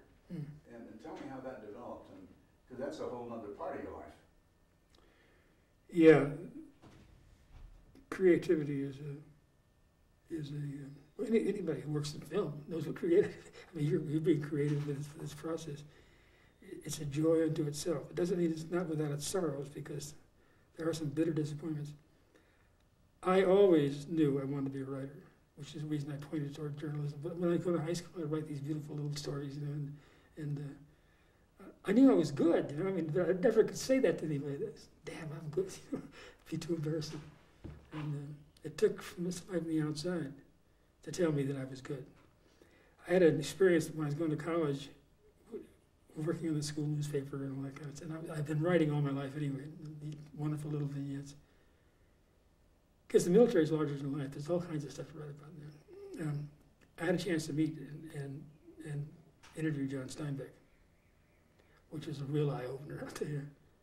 This Nobel laureate, and, and, and went back and looked at his stories again, and he said he, he was just a storyteller, and he is. He's a very good storyteller. Well, I took a little different, thi- little different approach. Um, first of all, I wa- I want to write something technically th- that would stand.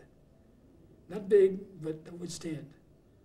I also wanted to write something that was very, very creative, but also built around uh, fact.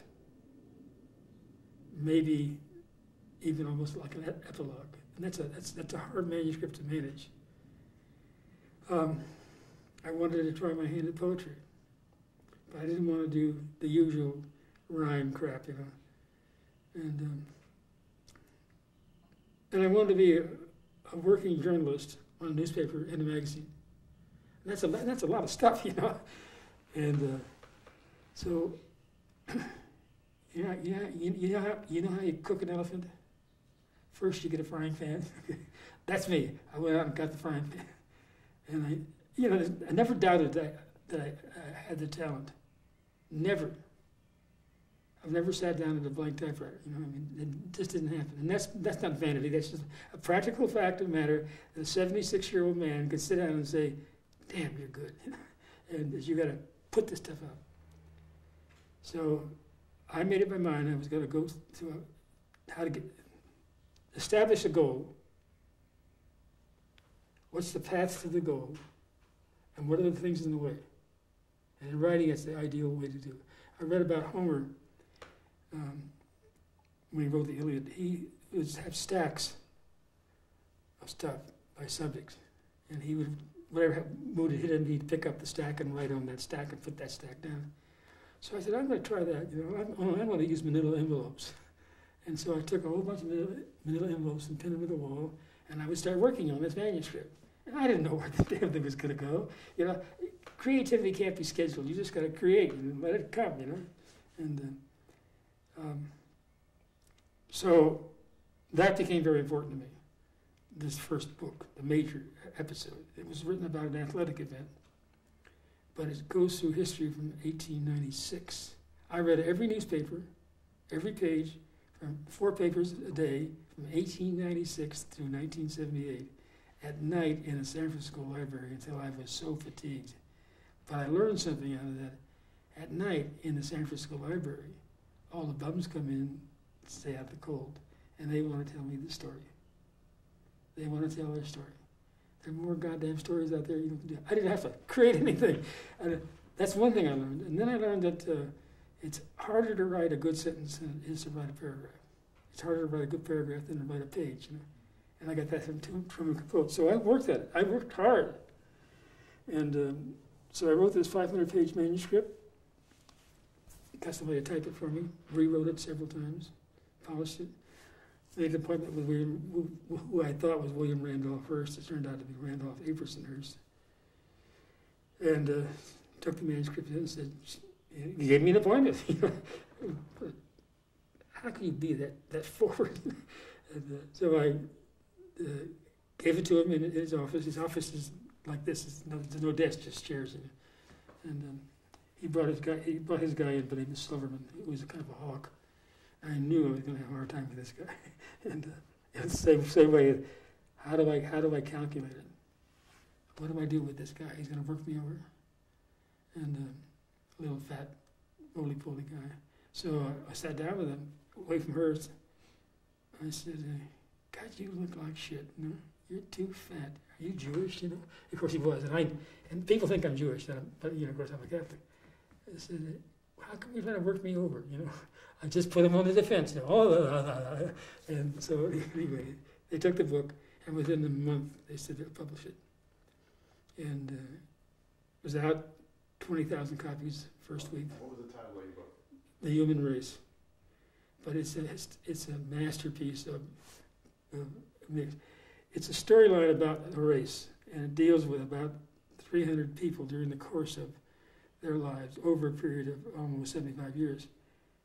It's like a train going down the track. You get off at the station, get back on, go to another station, get off. So that, that vehicle is the path to the goal. Okay, the goal is to get it published, get it read. um, his history playing a role. What's going on in the city of San Francisco? What's going on in California? What's going on in the nation?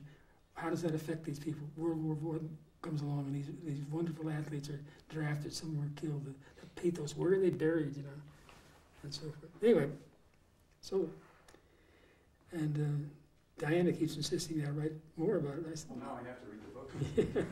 so I said, Diana, you know, you don't get the picture. It's done. It's done. You go on to the next thing, the next challenge. I mean, I, mean, how, how, how often do I got to be a second lieutenant? You know. so anyway, uh, that was the first. Then a guy called me and said, I want, want to do a book on how to make money as a college student. And that's a little bizarre, you know. And uh, would you like to write a couple of chapters? I said, hell no, I'll write the whole book. You know. So I sat down and I wrote this book, How to Make Money as a College Student. And it's a good book, you know, because it, kids read it. Um, then the next one was Parents Teaching the Children to Swim. Teaching Johnny to Swim is the name of the book. so that's the same thing, you know. It's a how-to book, and writing how-to books is not necessarily a bad way to make money, you know. And I wasn't interested in the money; I was detached from it. I don't care about the copyright. I none of that bothered me. I just want to get it out. Then I went to Thailand, and I have a friend over there, Tanet Kong Mont. He's a he's a professor of physical education. That's the National College of Education, and it's he, it's like the Harvard. And we did we went together and did a book on survival. And uh, it was aimed primarily at the military. And I said, no, let's do this a little bit. Let's just talk about survival for everybody, like snake bites and drowning, and yeah, you know, and, and, and make it gory, and get some gory pictures. And um, and we did, and it sold too. It's in Thai, but it's, it's our book. You know. I, I keep laughing with, with Diana because she doesn't get the idea that uh, uh, uh, you you put it behind you. You go on. You have to go on. You can't you can't stagnate. You can't keep talking all, all the time about what you did in the war, Daddy. You know that's dead.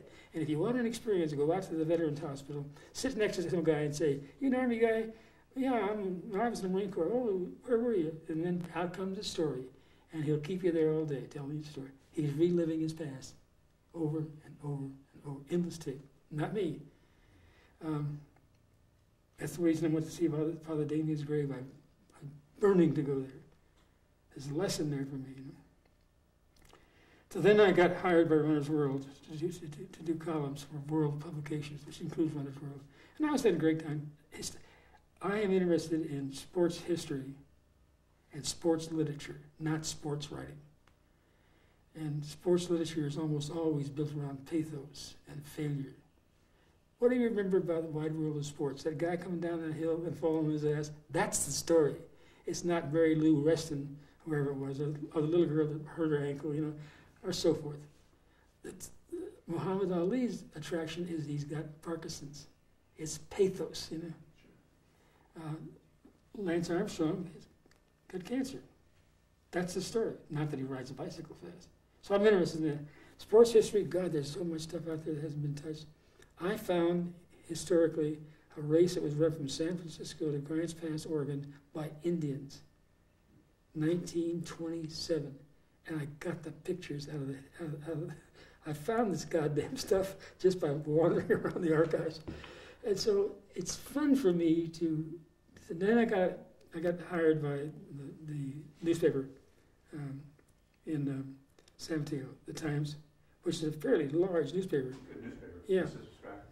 And I did a daily column on, um, which eventually became a weekly column because it was too hard, on out, outdoor stuff, mostly running.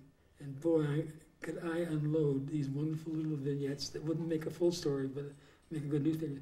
So I had that column for 10 years. 10 years. That's a lot of stories. Uh, we're gonna doing, um, currently on Wallach, and it's, uh, June twenty-fourth, uh, Tuesday, uh, and we're tape three. Uh, Colonel, we were, we were just kind of focusing on your writing, Mhm. and how that has been kind of a second and third, or maybe a fourth career for you. Uh, I didn't know. It's good, okay? Uh, and, and how, how has that manifested itself now? You've been retired for what, thir you know, 15, 16 years. Mhm. Uh, that's become a more important part of your life now. Tell me about how that's done. Well, you know, it's easy to be smug about your ability, and it's dangerous for me to say, I'm good, I'm damn good. Uh, so I got to get somewhere in between that, being smug and, and uh, being real, realistic for my answer. Um, I didn't ask God or whoever created me to be smart or to be creative. It just happened, you know and I'm blessed that I do have that gift. And again, I can't take credit for it, but I can be its custodian. And I have a responsibility to take that talent and to use it wisely and as, as solidly as I can, focus it on where I should go with it or it should, it, it should go with me. Saying that, um, I have the ability to think. Um, I know the I know the, the method of thinking, and I use that, and I muse over what I should be doing with that talent. What should I write about? Now I can be a very cute writer and be clever and lots of people who are clever. And that's kind of artificial, but people do read that stuff, and I could then write cleverly uh, and uh, make money at it. And most of the war novels, and you know the kind of people I'm talking about, especially those who writing, continue writing the same kind of trash. That's okay. I mean, but I don't have to do that. I can pick something more serious because I tend to be on the serious side of things or I can go philosophical, and you know the kind of stuff that comes out of that. It gets so profound that only the writer knows what he's talking about. So I had to kind of search out what I what I wanted. Right now, my interest has been for several years. I'm very much interested in the military history of the Philippines and the military history of Hawaii. And I'm not talking about the cowboys and Indians now. I'm talking about uh, the uh, the, the lead up groups, like the Negritos in the Philippines, the episode of Magellan and Lapu Lapu, um, the, going back, something like um, I heard that there were 300,000 warriors in the Philippines um, before 1898 when the Spanish American War started. So I have, a, I have an interest historically in that. Now within the, within all that, there are some characters that uh, me. Aguinaldo is one. Um, Bonifacio is another one. Aguinaldo inter- interests me because he's somewhere between a crook and a general. I'm not sure where, but uh, the more I read about it, the more controversial the guy is, and yet he's he's would make a very very good subject to expand on. I went to the Philippine bookstore a few days ago, trying to find something some meat in it. Well, there's nothing there's nothing there. You know, I got a history of the Philippine Islands and. Uh, uh, and there's hardly nothing there. I, I got another little book on the, the list of the prominent Filipinos. He's maybe worth two paragraphs. So I have a almost a compulsion. I want to dig on this guy a little more, you know, and because I think probably he maybe he's I think he's a rascal, but I'm not sure. But certainly he's worthy of a full-blown biography. On the Philippine sun on the flag, there are eight rays, and they represent the the, uh, the communities that rose up against the Spanish. Um, and if you read about that, you get this view that all Filipinos were heroes, all George Washingtons, like in, in, in World War II, all the Filipinos were guerrillas, you know. I don't think that's true. I think probably there's somewhere there's a lot of distortions in it, and it deserves to be faced with the truth. It's like talking about General MacArthur. My feeling about him is not very popular, but yet he is adored in the Philippines. So why? The Philippine personality is such that they have to have a hero. Um, so that's one area that I'm particularly interested in right now. Um, I'm also now trying to find something in sports literature, something could be sports literature, that talks more wisely and intelligently about the spirit of activity. Um, Tom Tutko is a professor down at San Jose State, and he writes about uh, sports psychology. Everybody's writing about sports psychology, and particularly him, but that's not what I'm interested in. I'm, I'm there's something that goes on with an athlete like that uh, uh, is unique and different and has not been articulated properly. Billy Mills, a great American 10,000 meter Indian Marine Corps guy, is a friend of mine, and uh, we went running one time, matter of fact, up the Belmont Hills, and uh, we're running along. And I, I, I dog along maybe in those days about a 7:30 pace, and Billy could probably knock off a 4 4:10 pace. Anyway, running along, and it's sun, sunset, the fog's coming in, and uh, on this trail, and we're just BSing back and forth, and things got kind of quiet. We were out there pretty far. It was getting cold. I had no shirt on, and uh, we could turn around and go back. And so I said, "Let's just stop for a second. So we did, and he said, Len, you know, there's a legend that the Indian will lead the white man to civilization. And I said, Billy, you're going right over my head. What are you talking about? He says, and he pointed to the fog and the trees, and, and he said, This is civilization. I thought, damn it, why couldn't I have thought that? Why couldn't I have created that, that thought in my brain? What is it that I'm missing? And of course, the next question is, what is everybody else missing? Why is it that we worship at the trough of uh, Muhammad Ali over this pathetic, this pathetic ending and tolerate a guy like George Foreman? What is it that that's there? So it's, it's that spiritual part of sport. And I've coined a phrase often that sport um, replicates man's struggle against adversity. Man's struggle against adversity. Well, in a kind of a safe way, it does. But I've been on runs of 100 miles or so, and I'll tell you, it ain't, it ain't, safe doing that. so, what is it that drives a guy like me, a little old me, a skinny little shrimp, to do that kind of stuff? What is the spiritual quality of sport? Um, it's not heroics because that anybody can do that. Anybody can do that. There's something more, like a little kid running on a playground in a hundred-yard dash against his classmate. What's going on there? Uh, so I need to spend a little more time thinking about that. I'm sure I'll come up with something, but that's the kind of area I'd like to write. Unfortunately, that that's a Reader's Digest type thing. You know, it's not long enough, and it's certainly not challenging enough. Um, I love the historical aspects of stuff uh, that consumes a lot of time in the writing part. Maybe where you can really flesh it out.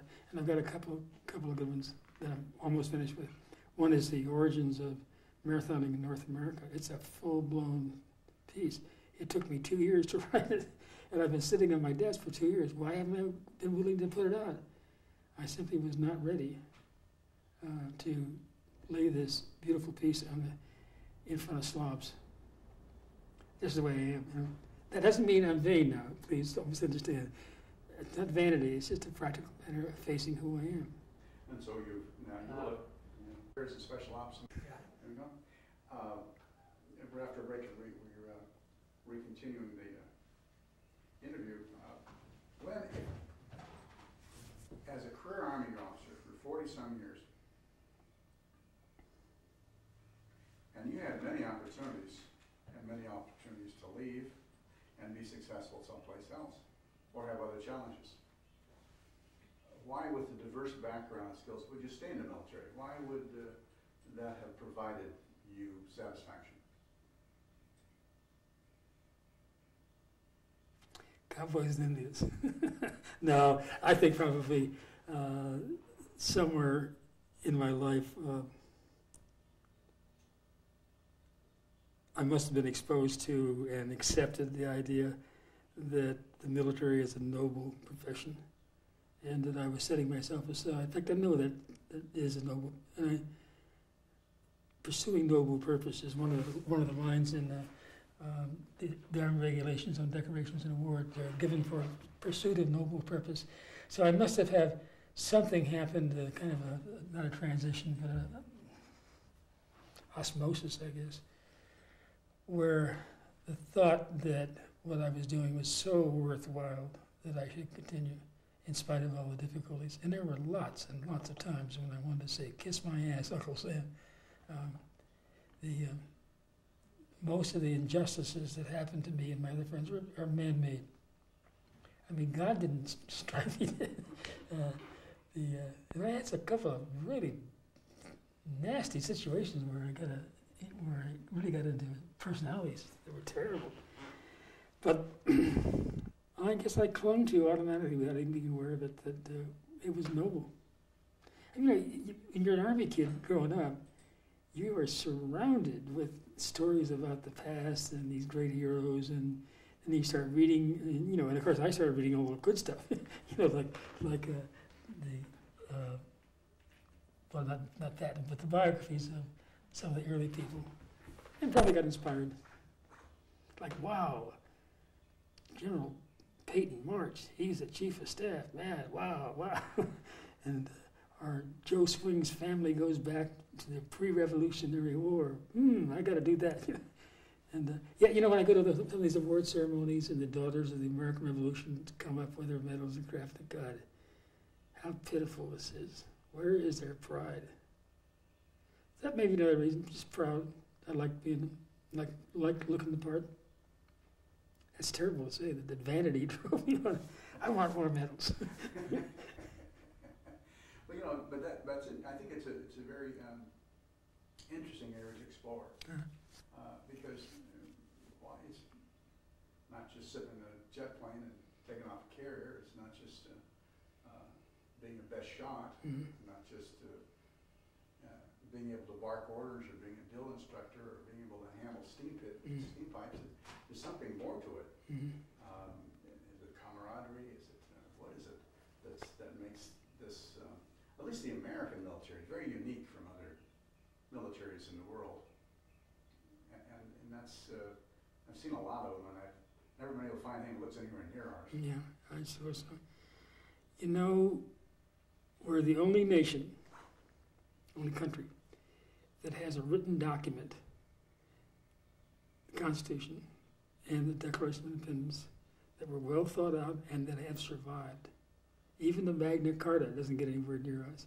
And so that's starting with that. The kids grow up with that idea that we're unique.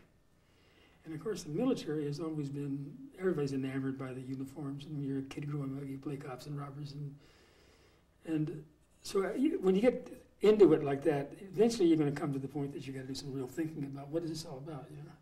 And what am I doing with my life? Is this something that I, wa- I don't want to go to jump, do I want to go to jump school or glider school? Do I want to go to CBR?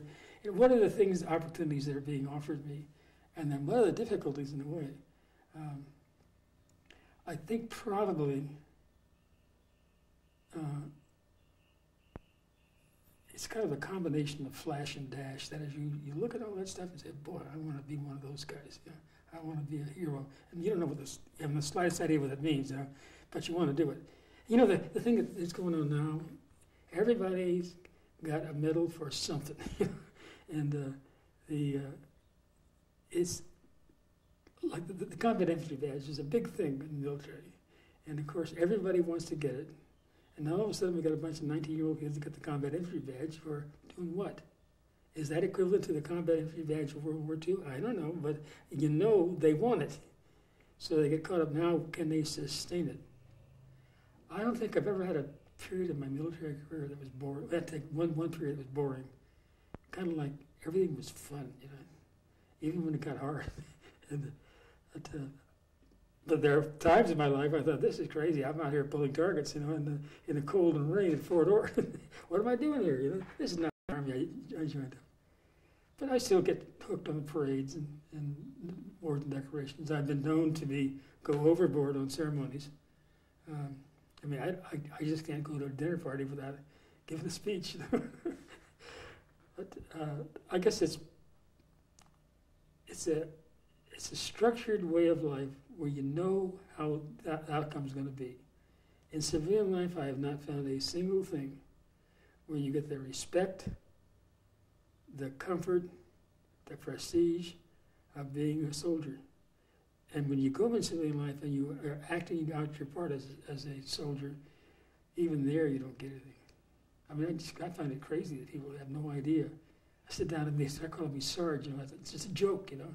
And uh, but of course, I don't let that happen. If you try that with me, you find out real quick who I am, you know. Um, the uh, but in the military, it's all. Very first lesson you learn in the military, the very first course you get is military courtesy, right? And so you, you, you're growing up in an atmosphere where everything's so structured, even how to say sir, you know. And they don't require you to salute without you knowing what you're doing. And it's that, that uh, it's elevated man's behavior to a very high level, I think.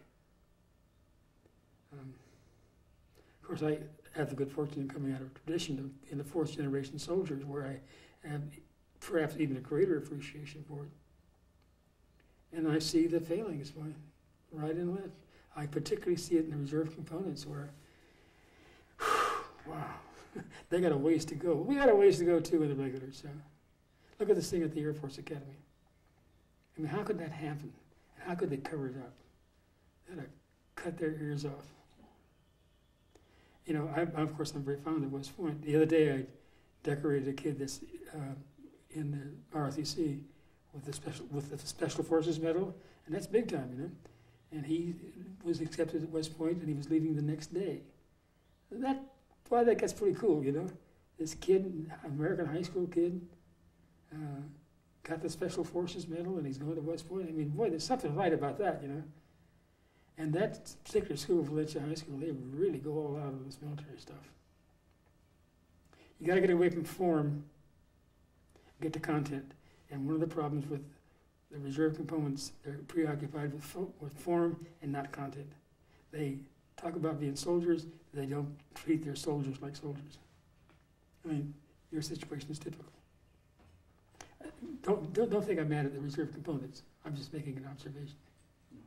No, I, I think that that's a pretty much general health mm. concept that where, um, uh, for some reason, that seems to permeate those uh, those two uh, areas. Uh, the, the last area I wanted to explore was uh, not only this new life you have, hmm. but tell me about your family. Now, you, you had a number of children. Yeah. you have a second family mm. and stepchildren.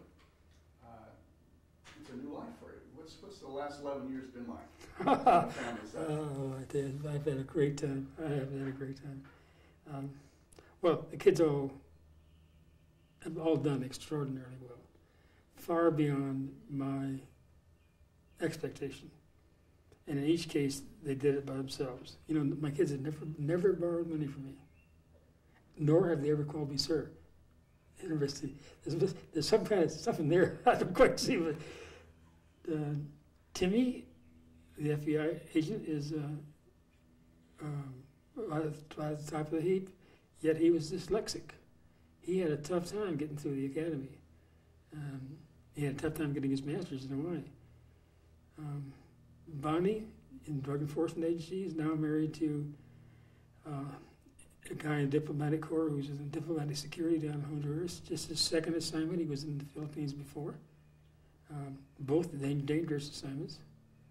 Um, Leah is a nutritionist. Uh, she got a fellowship at Stanford on death and dying, and uh, she's doing. She's she's a little ill right now, but she's bright. She's a bright kid. Got a real brain on her.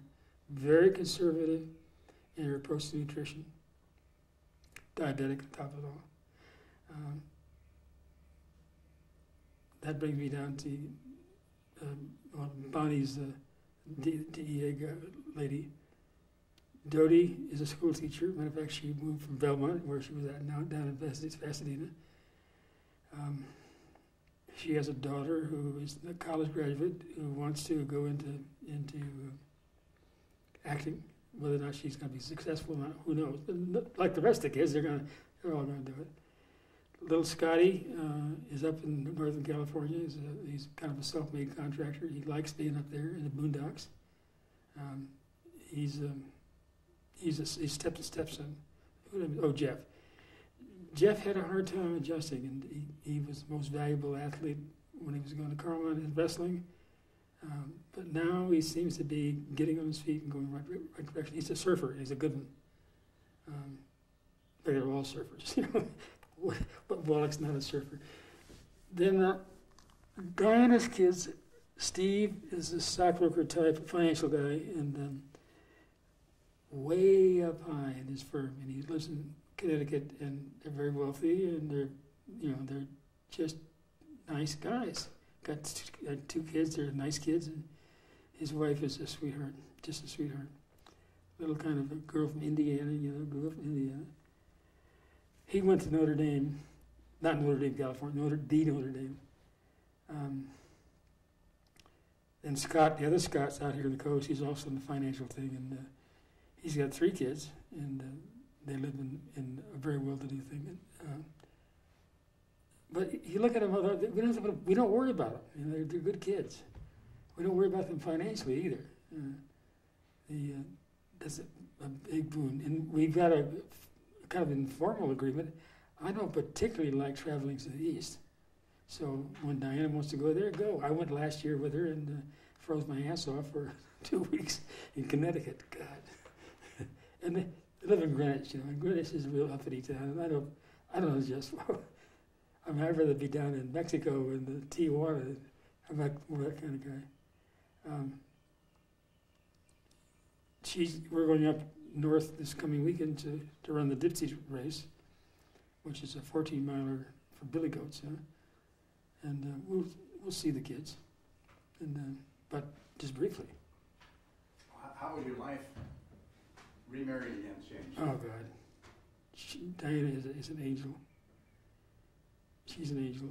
We, without ever even talking about it, we got some kind of informal rules. We didn't before, we got married. We we played it straight because there are children involved and their reputations involved, and um, we both wanted to protect each other. That's that's unusual in the modern marriage. You know? um, a lot of unwritten stuff. Uh, we, we split the expenses right down the middle. Um, she keeps her bank account. I keep mine, but I keep my checkbook so she so she can see it. I never ask questions about her past. She can ask me anything she wants, and um, and she's good about that. The uh, there's a high level of trust, very high level of trust. I was concerned that when we got married that she could, could maybe couldn't handle the army traditions, you know.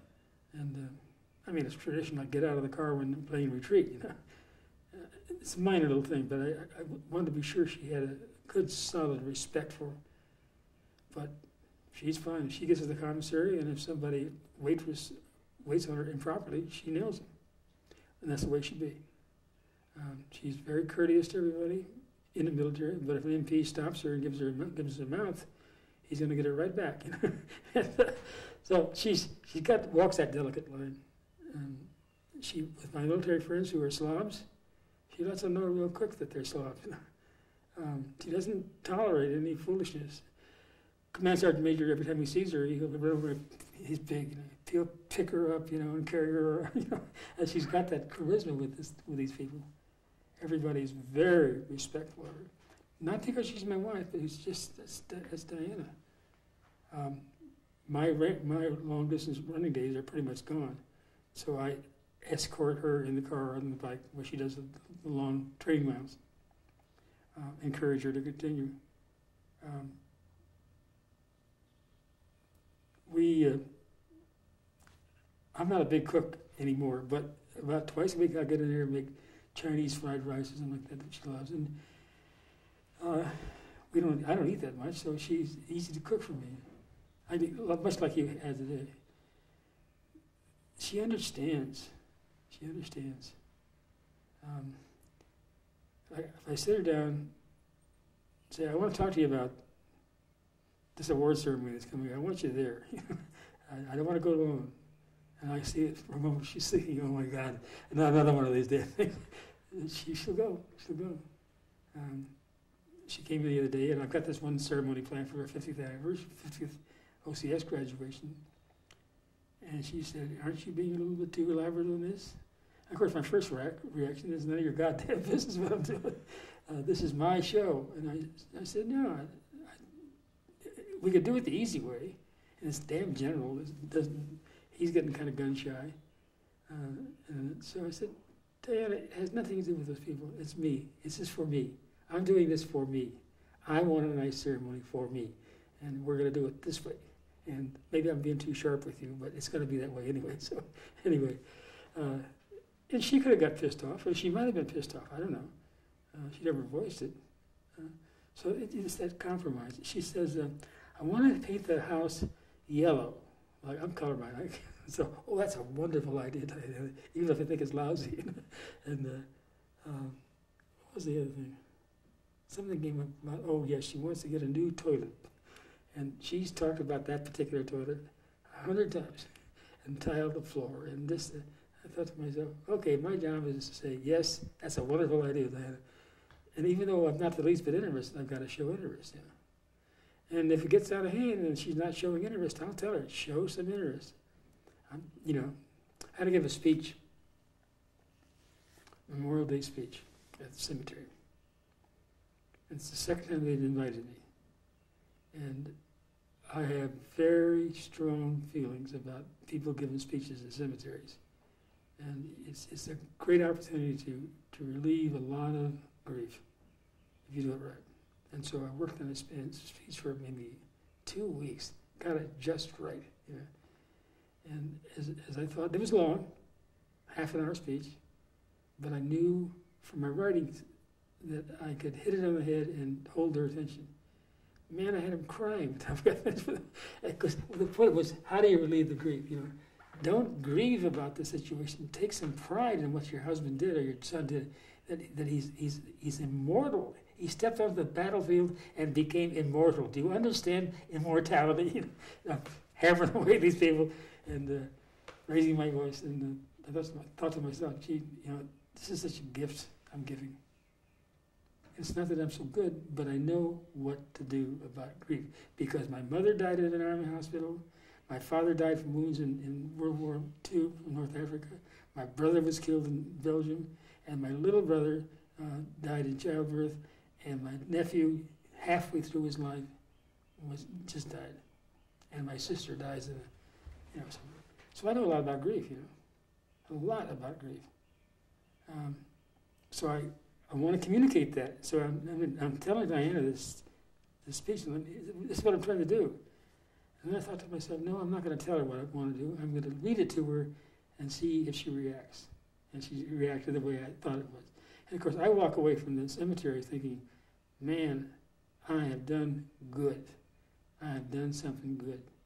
With the little talent that I have, I've still done something good. And uh, that's my mission in life, to try to do something good. Real simple, that, that's my motto. I think that's a very good uh, theme to permeate the Wallach life. If, if you were going to, uh, you know, as we're finishing up, I wanted to ask, I asked you earlier, and I mentioned it earlier, you know, the highs and lows in our lives, Mhm. and the highs and lows in our careers, and, and the many careers you have. You might have a lot of different highs, Mm.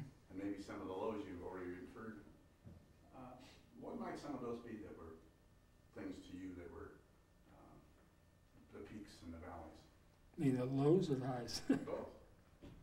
Well, I always want to be a general, you know, uh, and I hungered after that. I got always working towards it, but I, I I got, I antagonized a lot of people, and will continue to antagonize a lot of people. And uh, in spite of the fact that I know you have to be gracious and kind, I wasn't going to acquiesce to their bullshit. You know, they either had to accept my worth and value and my brains, or, or tell me to kiss off and punish me, and they did. They, I got held up several times. Um, second thing, I, I wish I would have been able to have commanded a brigade or a battalion just to see what it felt like. uh, but I didn't get that chance. But that's not, not, not a, that's not a real low um, level of trust. I don't want to ever ever be in a situation again where I wasn't trusted. And when somebody challenges challenges me about my decorations and awards, you better be ready for a counterattack. I had a situation at the Rudy, Rudy Hernandez chapter where this one guy, I was wearing a, I was uh, wearing my greens, and the unit decorations, I wear nine. Nine, no, I wear, nine? No, ten, nine, nine. And it's something like, in those days there were maybe ten. One of them I wasn't wearing. And this guy, and you know you know this guy, uh, challenged me about how come you have nine? You know, there are only ten. And I thought, what's wrong with this guy?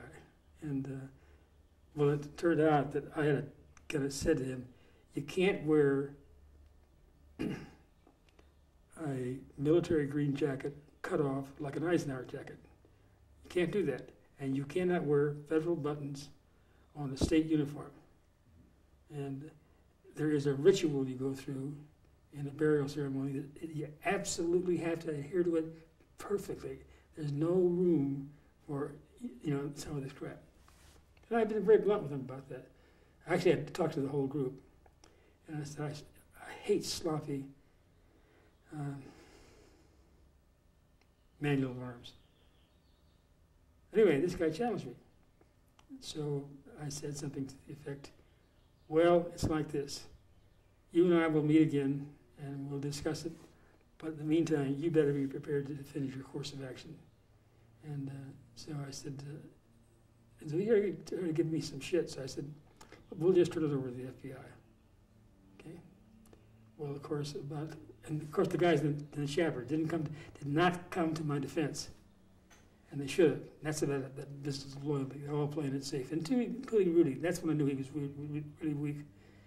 So I did. I turned it over to the FBI, and within a week, the guy was had to apologize in public. I didn't ask him to apologize in public. He decided he better. You know, we got that FBI stuff, and, and I did. I actually brought the FBI guy in and sat down with. Uh, Rudy and me and him and but I was disappointed that Rudy didn't didn't rise to the occasion. I should have known better. Then in another meeting, this one guy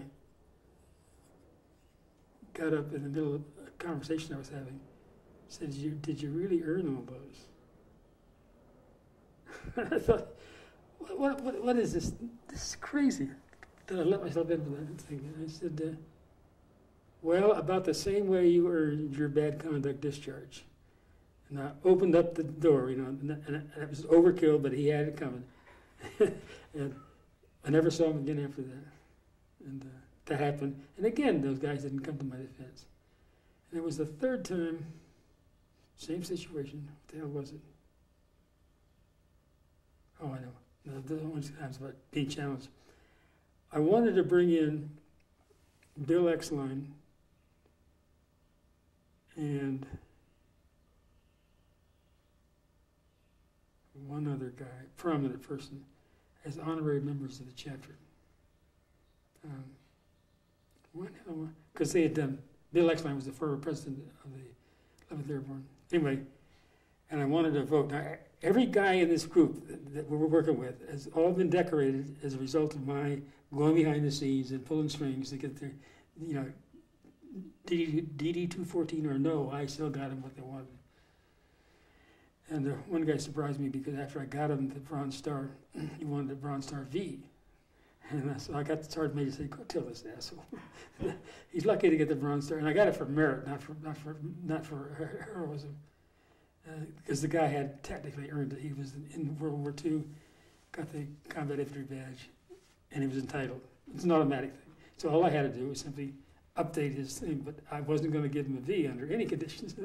and uh, so I thought that he would come to the rescue of all people after I got him his Bronze Star and he'd get the degree.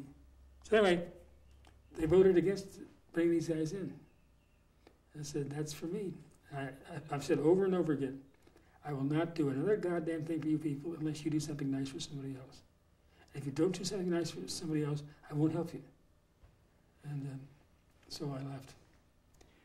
And so that would be some of the valleys. What are some of the special peaks in your life? Oh boy, Fifth jump, get those wings, you know. Uh, yeah. yeah. You mentioned about that meant. Hmm? What did that really mean to you? Oh man, I'm afraid of heights. I'm definitely afraid of heights. I had to, you know, this old theory: if you fall off the horse, get back on. It doesn't work that way. You're still just as scared. So I was, I was frightened, very frightened at heights. And uh, I showed the picture of this one guy that we always went out one or, one or two together.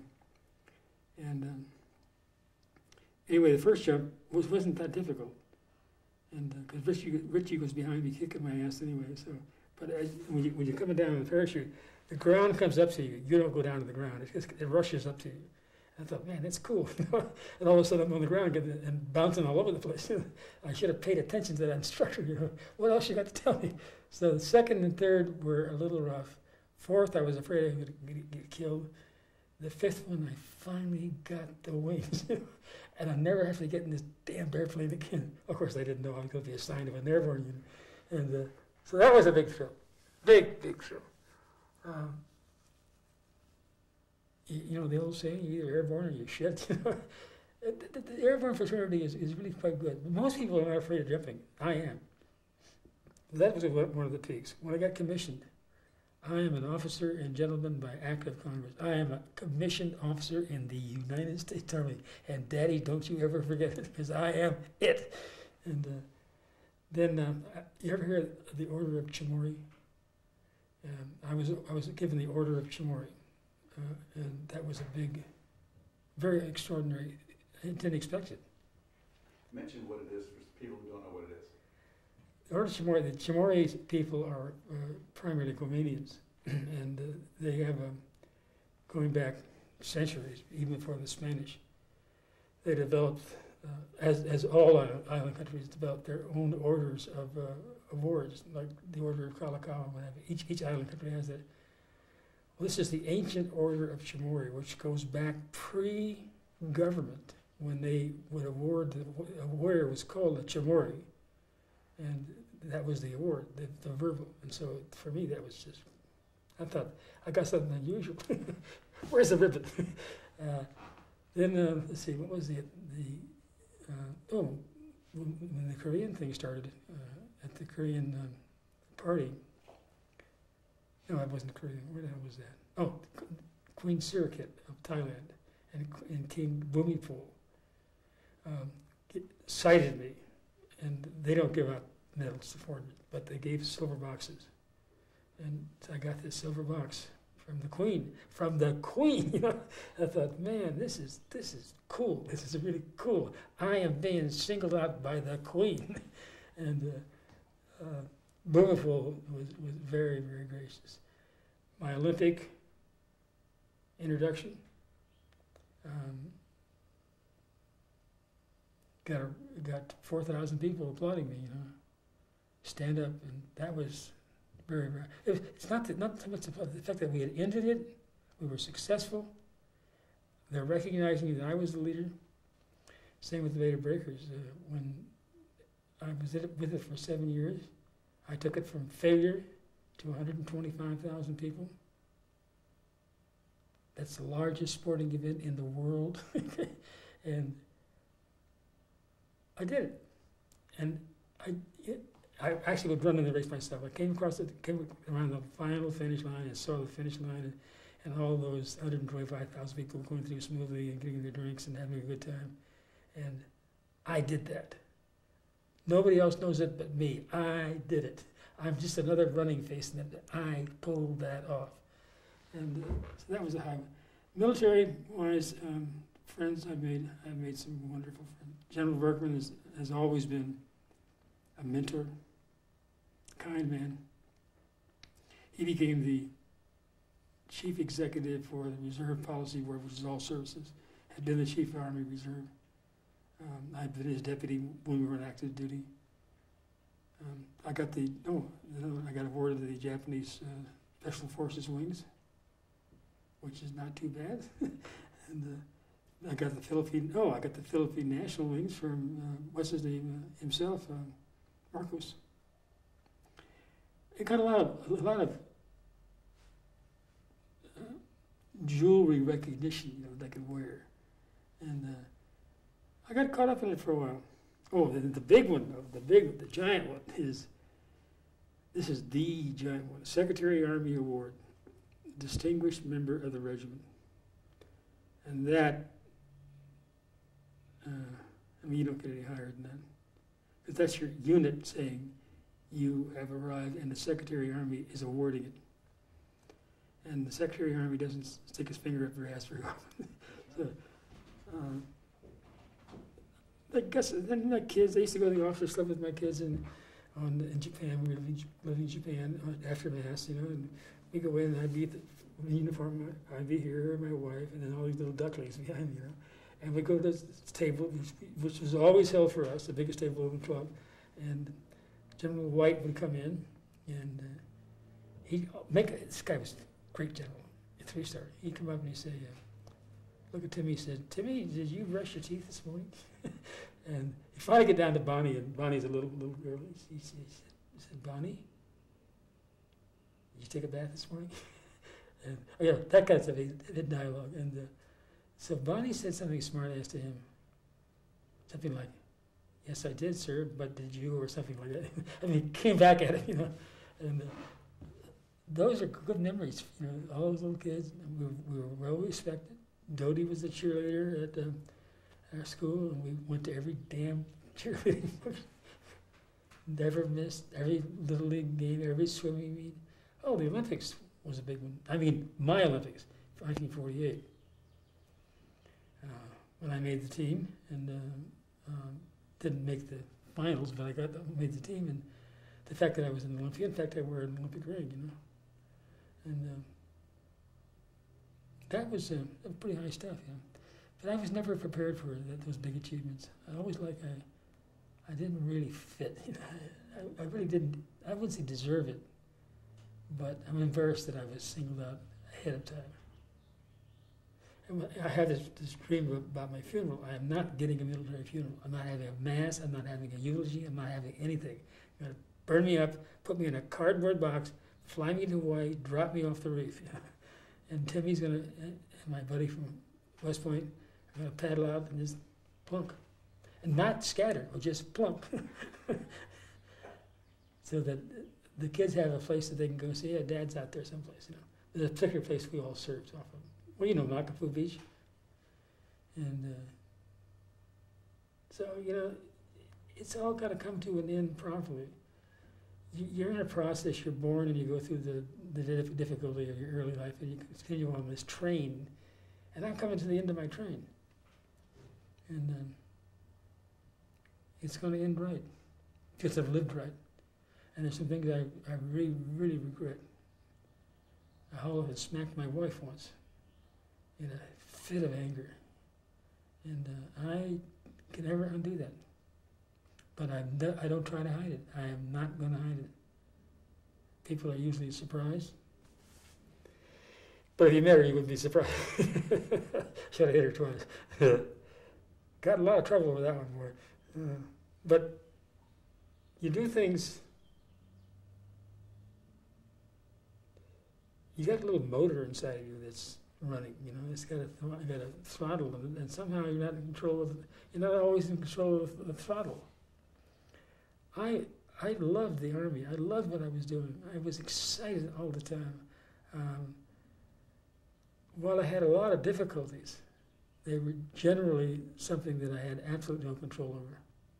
I can't. I had one one commanding officer. Oh, here's one. I had a close friend who was Jewish, and we both got assigned as to what they call SCARWAF. It's Army forces serving the Air Force in security science, and we we had uh, maybe 20 soldiers. This is in Korea, and uh, this guy's name was uh, kind of Abram, Abrams, Morris Abrams. And uh, I think I was a captain, we're maybe we were both first lieutenants. Anyway, we had the duty of securing the base. And uh, we got a Quonset given to us, and we made it into kind of a barracks, you know, uh, fixed it up. And we go over to the club. They made a little, another little club out of Quonset, which is right next to us. And uh, we'd have dinner, and his table manners were terrible. God, he was awful. Um, I mean, awful. So the old man, an Air Force colonel, called me in and said, You are him. you get him straightened out by dinner tonight. And uh, if you can't, then he doesn't eat. And neither do you. So this Air Force guy was really laying it on me. I don't know if he's kidding or not, but I didn't know. Yeah. So I pulled him aside and I said, Hey, the boss says, got a problem, and uh, I'm saying you clean up your act. You have better table manners, and I'll teach you how to do it if necessary. Well, you're just being anti-Semitic. You know, that's like, I said, what's my last name? He said, it's Wallach, isn't it? Wallach, W-A-L-L. Ever hear of a, name of Wallach? There are lots of Wallachs that are Jews. So if I'm anti-Semitic, you're the Pope. Do it by tonight. so, you know, I was a little ashamed that the guy would accuse me of being anti-Semitic, but he's just mad. You know. Years later, we met again, and he was now my senior officer. And uh, I thought, God, here it comes.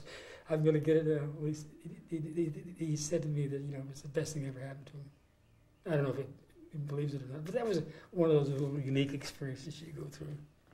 I knew a guy that got fragged, and uh, I've kept silent about it all these years because I'm too afraid to be an accessory to, to the damn thing. Um, but I, I really regret even being. I always was aware it was going to happen. I could have had it all. You know, I'm an, I'm an NCO. At, at, at, my mind is an NCO. My body's of, of West Point cadet. Uh, my rank is, uh, you know, senior officer. But the truth of the matter is, I'm a very mixed bag. It's something I have never really figured it out. I just know that Diana and I got a good thing going, and if I can just keep my wits about me with this military stuff and not get pissed off so often. Uh, I had a little niche down here that I was carving out for myself, you know, and I wanted it to go on, but it wasn't going anywhere because the people I was dealing with just they just didn't have it. Like the special ops thing, you know, uh, that's a a new thing, and with the arrival of civil affairs in special, causing special ops to expand, special ops became popular. Up before that time, special forces guys, you kiss, you kiss goodbye. They weren't going to get promoted. So now we got a new thing, and Bill Berkman was the reason that happened. And Bill Berkman said of me to somebody else later on that I was the best civil affairs officer he ever knew. So I went, went to him and I said, I understand you said this. I said, God damn it, Bill, don't you understand? I'm an infantry officer.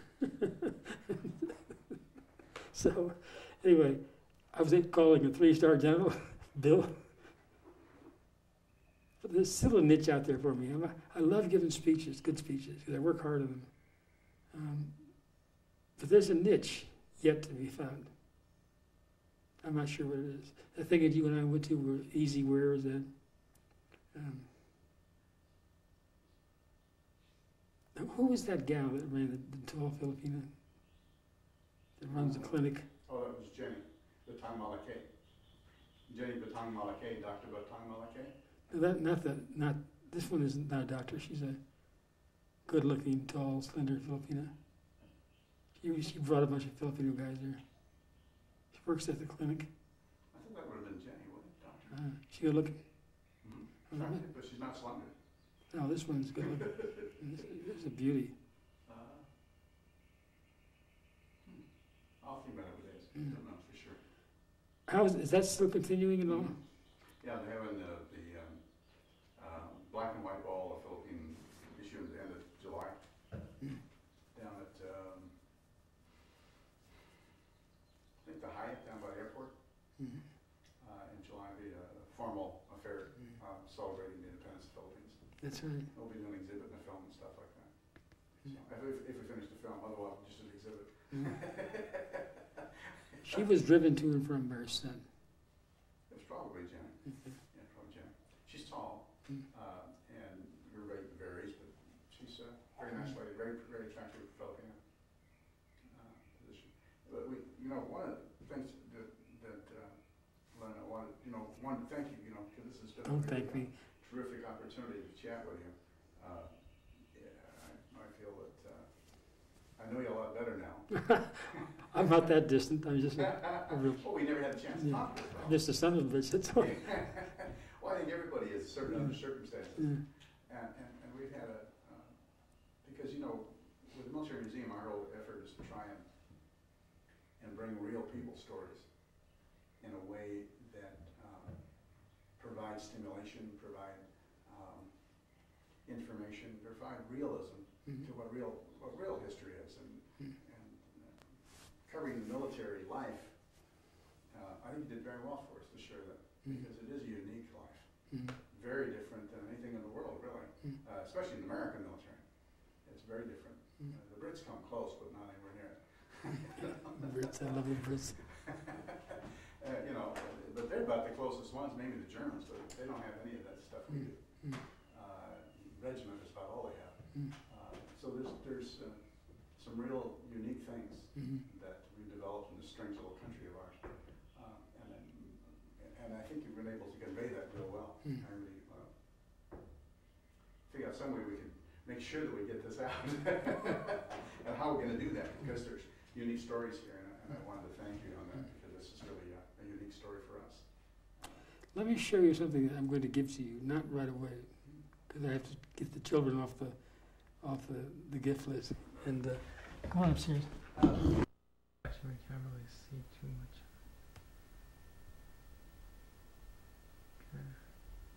Okay. Now, if we do it this way. Medal from Vietnam, as is this and this. This is the honor medal for officers. This is the uh, civic action or civil action, and this is the campaign. These are Vietnam issued. This is a World War II victory. This is a special medal awarded to civilian service in Vietnam, and this is, uh, surprisingly enough, the California Medal of Merit. Okay, let me that. This is the uh, Vietnamese Army uh, Cross of Valor, or Valor, yeah, Cross of Valor.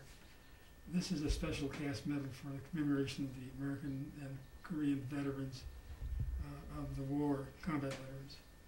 United Nations Medal awarded for in service to the United Nations in Korea.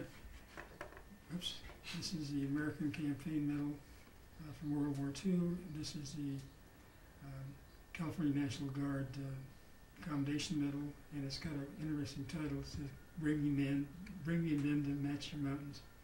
And this is, believe it or not, the California National Guard Good Conduct Medal. Okay, look at this here. This is the Military Service Medal, uh, American Army awarded three times. This is the Army Commendation Medal awarded twice, three times. Army Good Conduct Medal, which is missing its second uh, award. Asiatic Pacific Medal, Asiatic Pacific Campaign Medal for during World War II. This is the Vietnamese Campaign Medal, and this is the Korean Service Medal.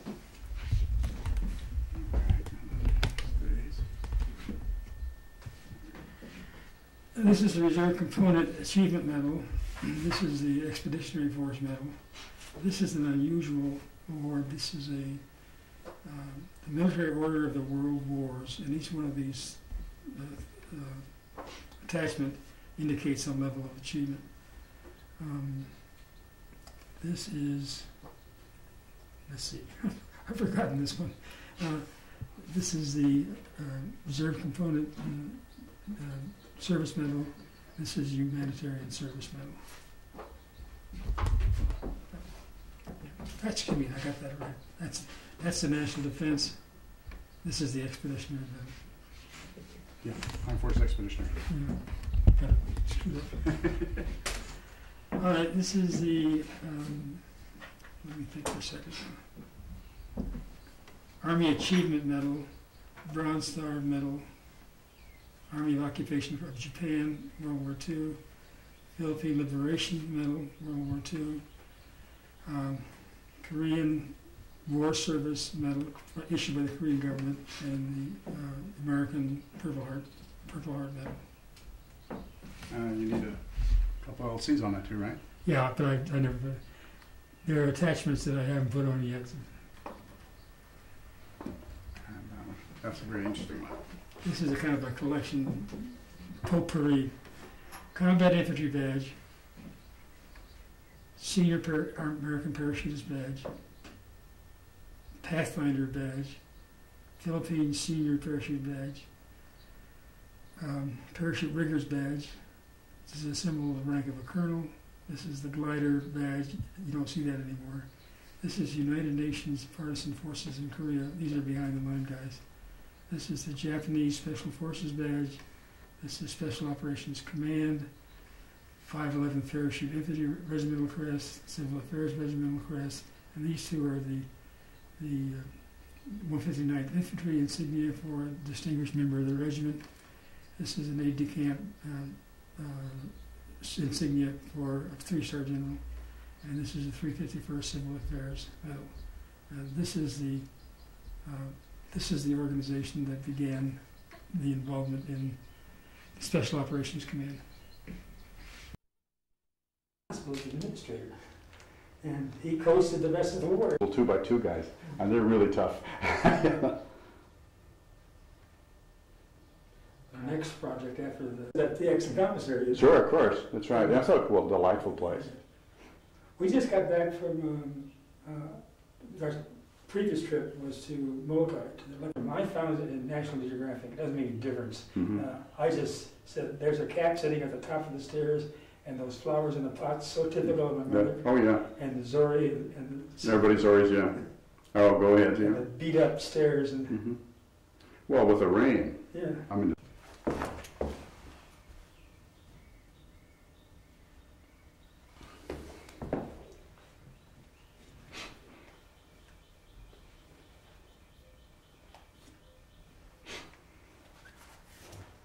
Is it okay?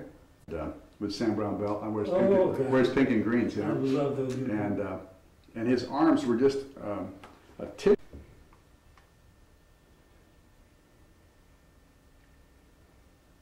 Okay? Yeah. Okay, and then this one here. That's why it was the first one. Take a look and see what he say, what he says. Very nice. They have good eyes though. Yeah. Eyes. Yeah. Uh, I'd like to uh, welcome you on behalf of the California Military, California State Military Museum and the California Military History Educational Project. Uh, And today, we're at the home of Colonel Leonard Wallach, uh, at his home in West Hills, California, and today is the 24th of June, uh, 2003. It's about uh, 20 to 11 uh, Tuesday morning. And so first I'd like to welcome you, Colonel Wallach. Thank you. and, uh, Thank you. Have a chance to, uh, You welcome me to my own home? yeah, right, welcome to your own home, but welcome for the opportunity to interview you today.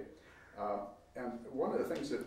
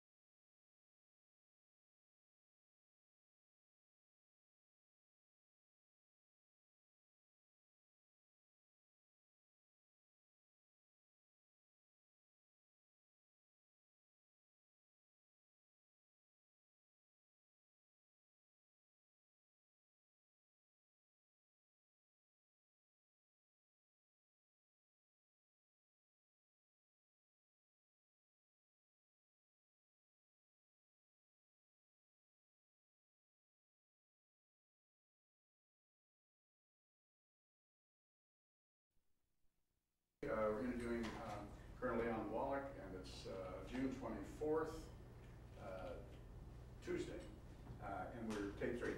Uh, Colonel, we were, we were just kind of focusing on your writing Mhm. and how that has been kind of a second and third or maybe a fourth career for you. Uh, and- I didn't know.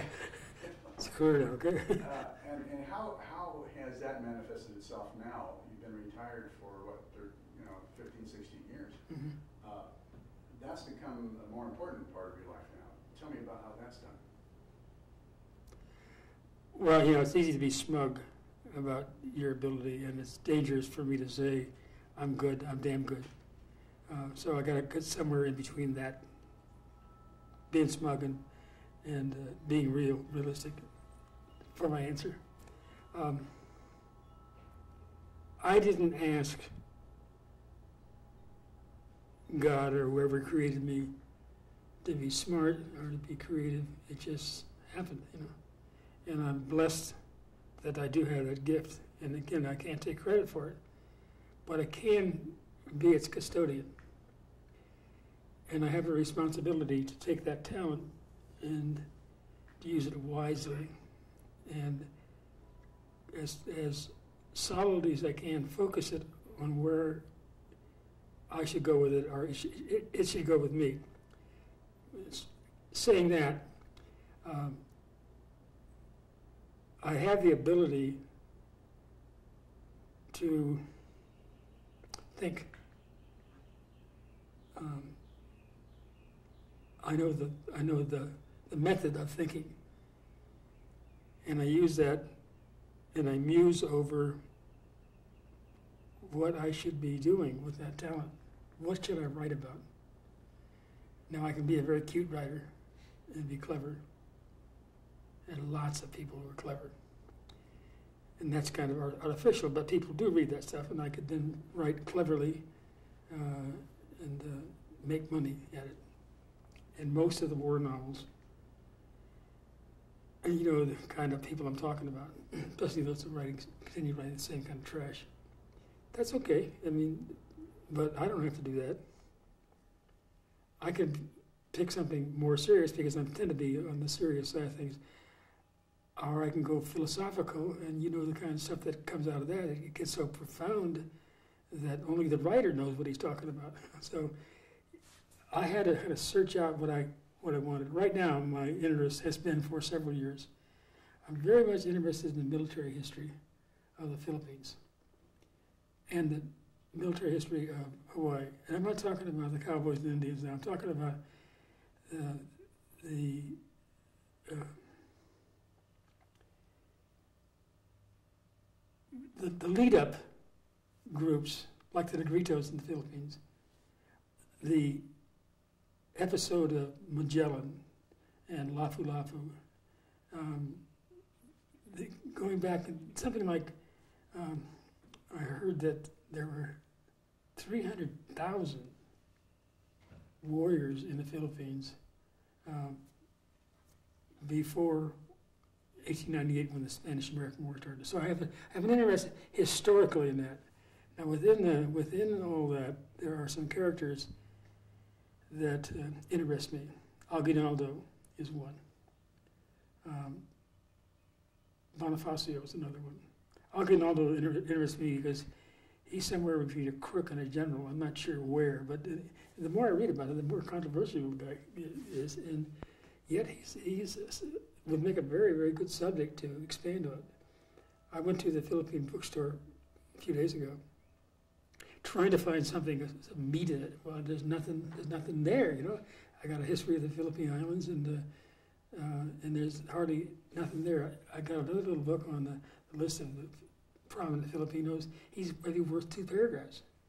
So I have a almost a compulsion. I want to dig on this guy a little more, you know, and because I think probably he maybe he's I think he's a rascal, but I'm not sure. But certainly he's worthy of a full-blown biography. On the Philippine sun on the flag, there are eight rays, and they represent the the, uh, the communities that rose up against the Spanish.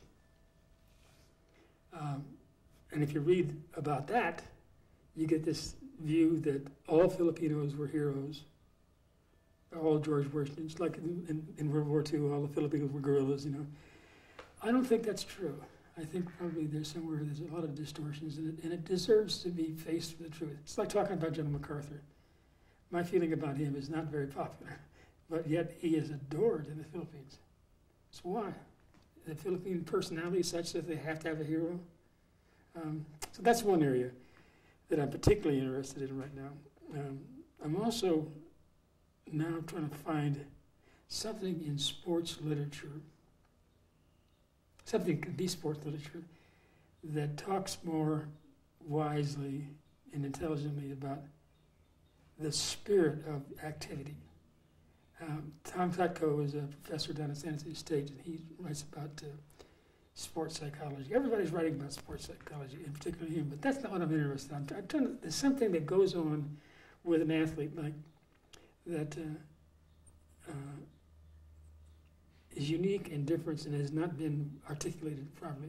Billy Mills, a great American 10,000 meter Indian Marine Corps guy, is a friend of mine, and uh, we went running one time, matter of fact, up the Belmont Hills, and uh, we're running along. And I, I, I dog along maybe in those days about a 7:30 pace, and Billy could probably knock off a 4 4:10 pace. Anyway, running along, and it's sun, sunset, the fog's coming in, and uh, on this trail, and we're just BSing back and forth, and things got kind of quiet. We were out there pretty far. It was getting cold. I had no shirt on, and uh, we were turning around and go back. And so I said, "Let's just stop for a second.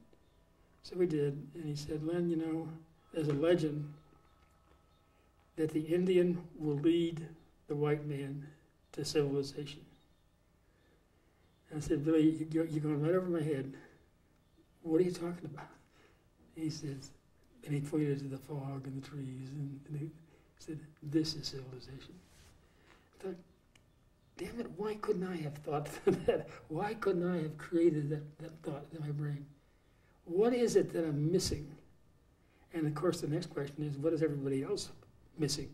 Why is it that we worship at the trough of uh, Muhammad Ali over this pathetic, this pathetic ending and tolerate a guy like George Foreman? What is it that that's there? So it's, it's that spiritual part of sport. And I've coined a phrase often that sport um, replicates man's struggle against adversity. Man's struggle against adversity. Well, in a kind of a safe way, it does. But I've been on runs of 100 miles or so, and I'll tell you, it ain't, it ain't, safe doing that. so, what is it that drives a guy like me, a little old me, I'm getting a little shrimp, to do that kind of stuff? What is the spiritual quality of sport? Um, it's not heroics, because that anybody can do that. Anybody can do that.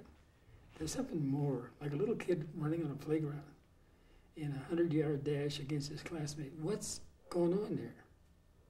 It, uh, so I need to spend a little more time thinking about that. I'm sure I'll come up with something, but that's the kind of area I'd like to write. Unfortunately, that that's a Reader's Digest type thing. You know, it's not long enough, and it's certainly not challenging enough. Um, I love the historical aspects of stuff. Uh, that consumes a lot of time in the writing part. Maybe where you can really flesh it out. And I've got a couple couple of good ones that I'm almost finished with. One is the origins of marathoning in North America. It's a full blown piece. It took me two years to write it, and I've been sitting on my desk for two years. Why haven't I been willing to put it out? I simply was not ready uh, to lay this beautiful piece on the in front of slobs. This is the way I am. You know? That doesn't mean I'm vain now. Please don't misunderstand. It's not vanity. It's just a practical matter of facing who I am. And so you, now you look, here's a special ops. Yeah. There we go. Uh, we're after a break, we, we're uh, recontinuing the uh, interview. Uh, Len, as a career Army officer for 40 some years, and you had many opportunities and many opportunities to leave and be successful someplace else or have other challenges.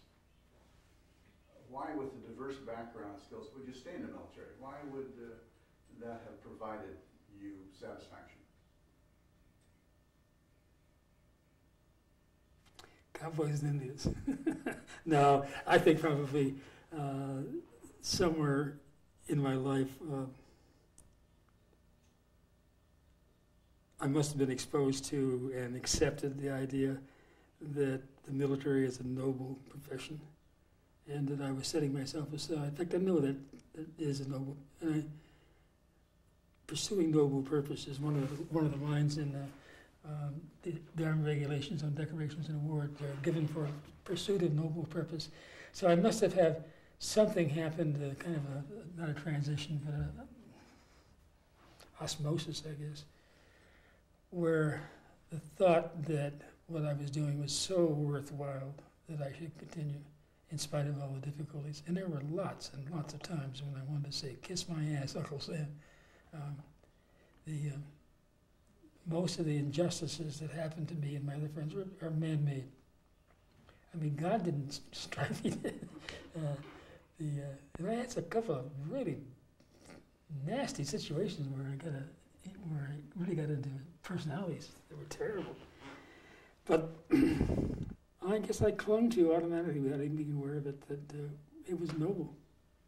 And, you know, you, when you're an army kid growing up, you are surrounded with stories about the past and these great heroes, and then you start reading, and, you know, and of course I started reading all the good stuff, you know, like like uh, the uh, well, not not that, but the biographies of some of the early people, and probably got inspired. Like, wow, General Peyton March, he's the chief of staff, man, wow, wow, and.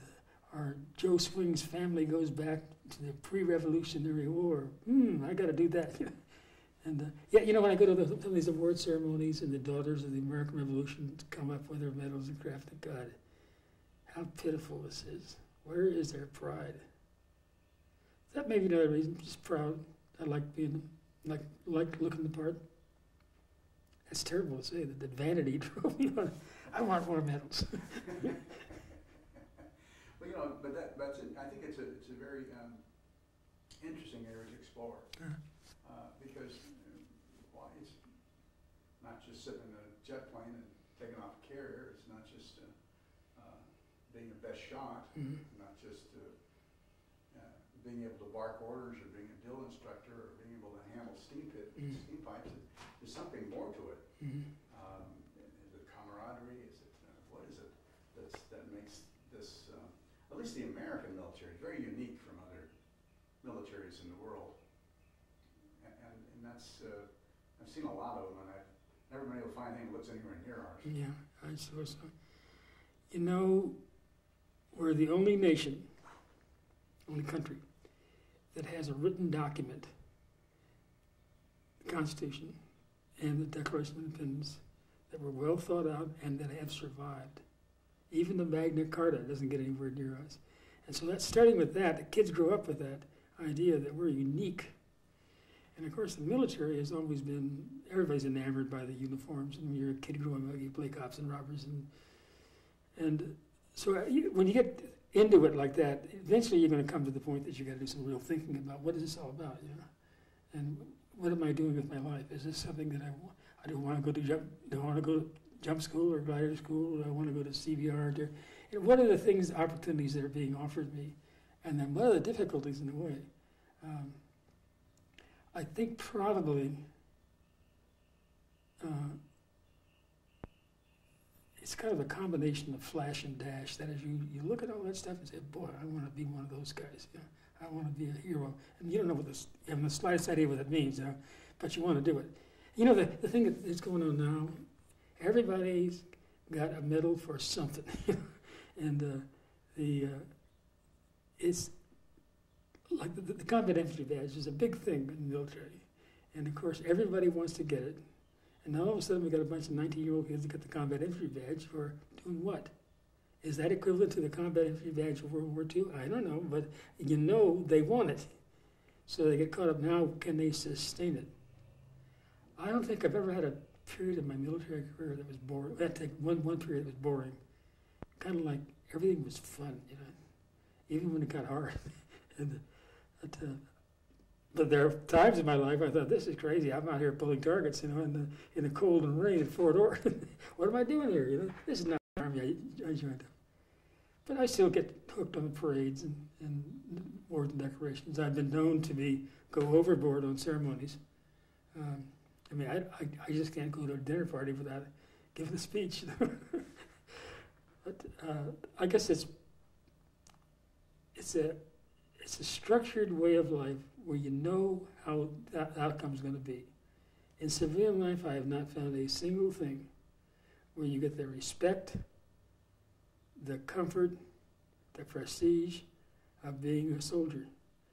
And when you go in civilian life and you are acting out your part as, as a soldier, even there you don't get anything. I mean, I just I find it crazy that people have no idea. I sit down and they start calling me Sarge, you know, it's just a joke, you know. And uh, but of course, I don't let that happen. If you try that with me, you find out real quick who I am. You know? um, the uh, but in the military, it's all very first lesson you learn in the military, the very first course you get is military courtesy, right?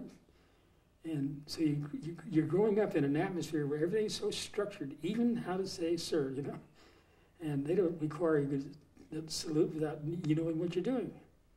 And it's that that. Uh, it's elevated man's behavior to a very high level, I think. Um, of course, I have the good fortune of coming out of a tradition of, in the fourth generation soldiers where I have perhaps even a greater appreciation for it. And I see the failings right and left. I particularly see it in the reserve components where, wow, they got a ways to go. We got a ways to go too in the regulars. So look at this thing at the Air Force Academy. I mean, how could that happen? How could they cover it up? They had to cut their ears off. You know, I, of course, I'm very fond of West Point. The other day, I decorated a kid that's uh, in the ROTC with the special with the Special Forces Medal, and that's big time, you know. And he was accepted at West Point, and he was leaving the next day. That, boy, that gets pretty cool, you know. This kid, American high school kid. Uh, got the Special Forces Medal and he's going to West Point. I mean, boy, there's something right about that, you know. And that particular school, Valencia High School, they really go all out of this military stuff. You got to get away from form, get to content. And one of the problems with the reserve components, they're preoccupied with, fo- with form and not content. They talk about being soldiers, they don't treat their soldiers like soldiers. I mean, your situation is typical. Uh, don't, don't, don't think I'm mad at the reserve components. I'm just making an observation. No, I, I think that that's a pretty much general health Mm. concept, that where, um, uh, for some reason, that seems to permeate those, uh, those two uh, areas. Uh, The, the last area I wanted to explore was um, not only this new life you have, Mm.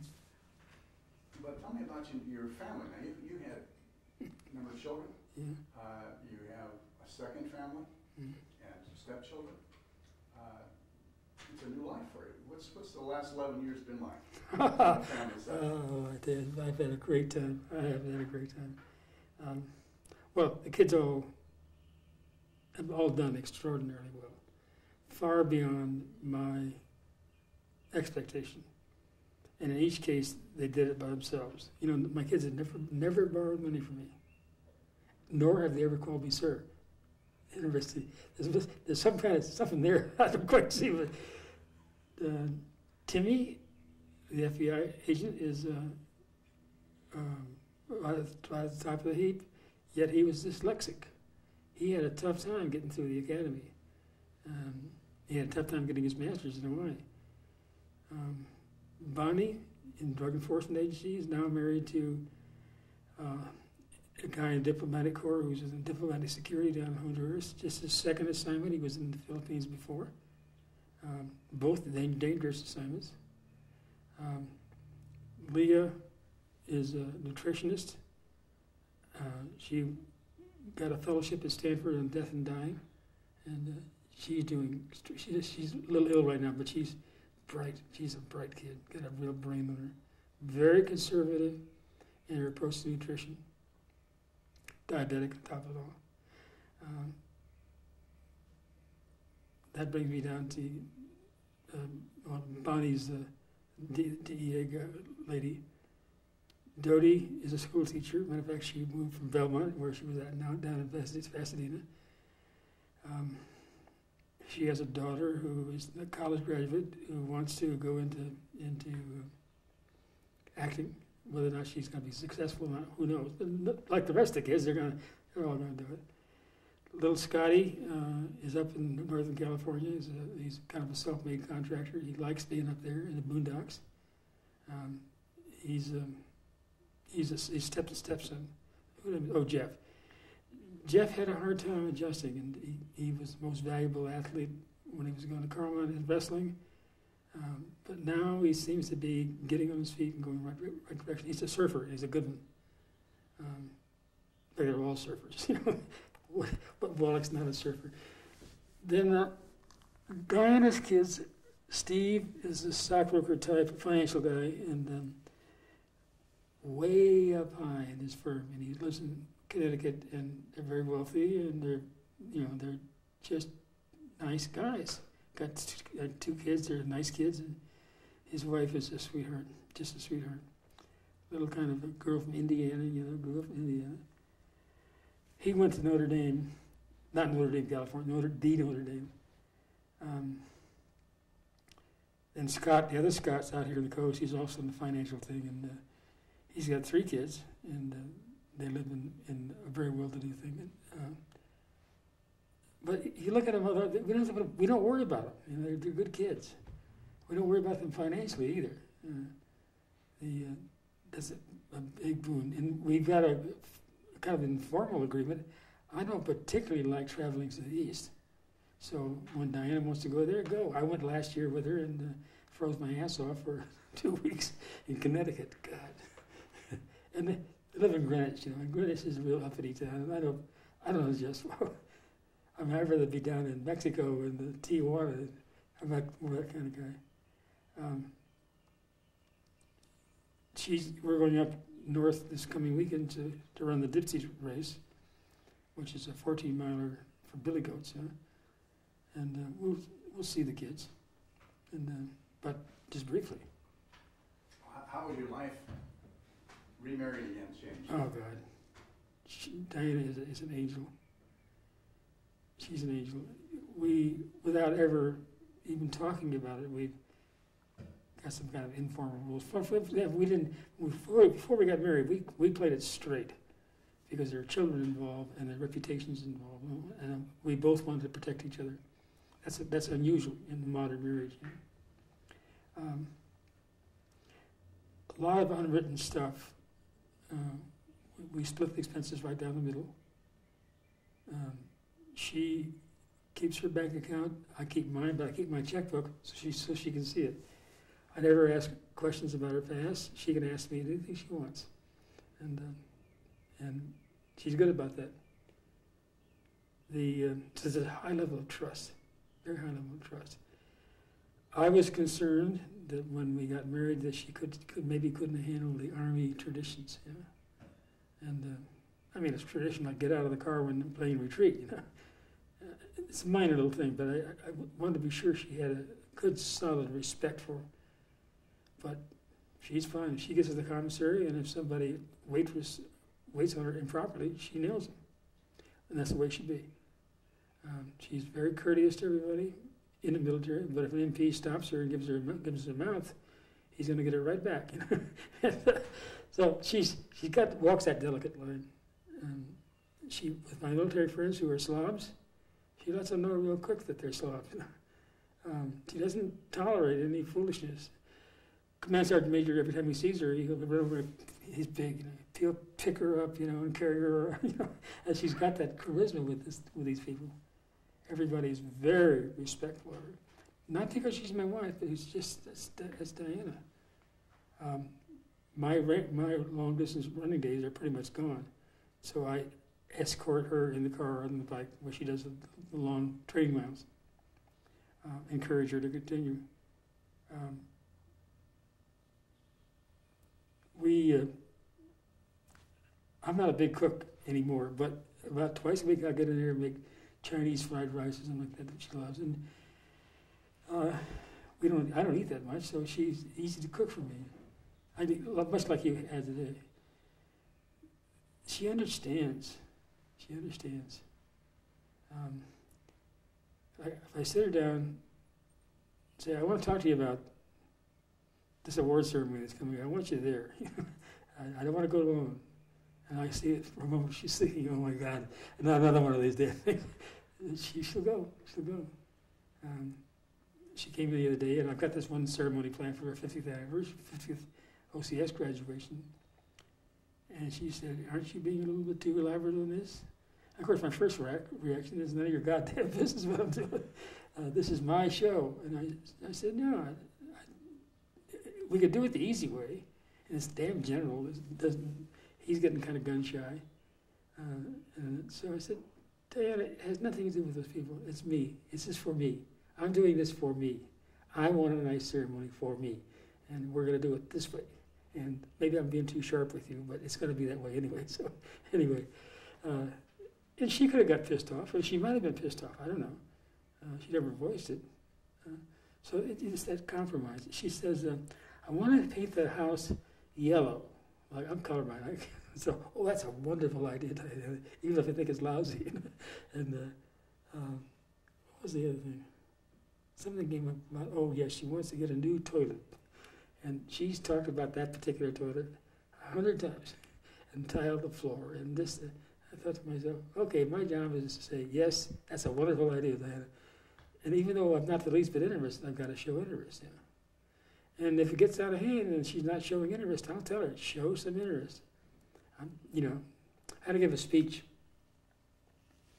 Memorial Day speech at the cemetery. It's the second time they've invited me. And I have very strong feelings about people giving speeches in cemeteries. And it's, it's a great opportunity to, to relieve a lot of grief if you do it right.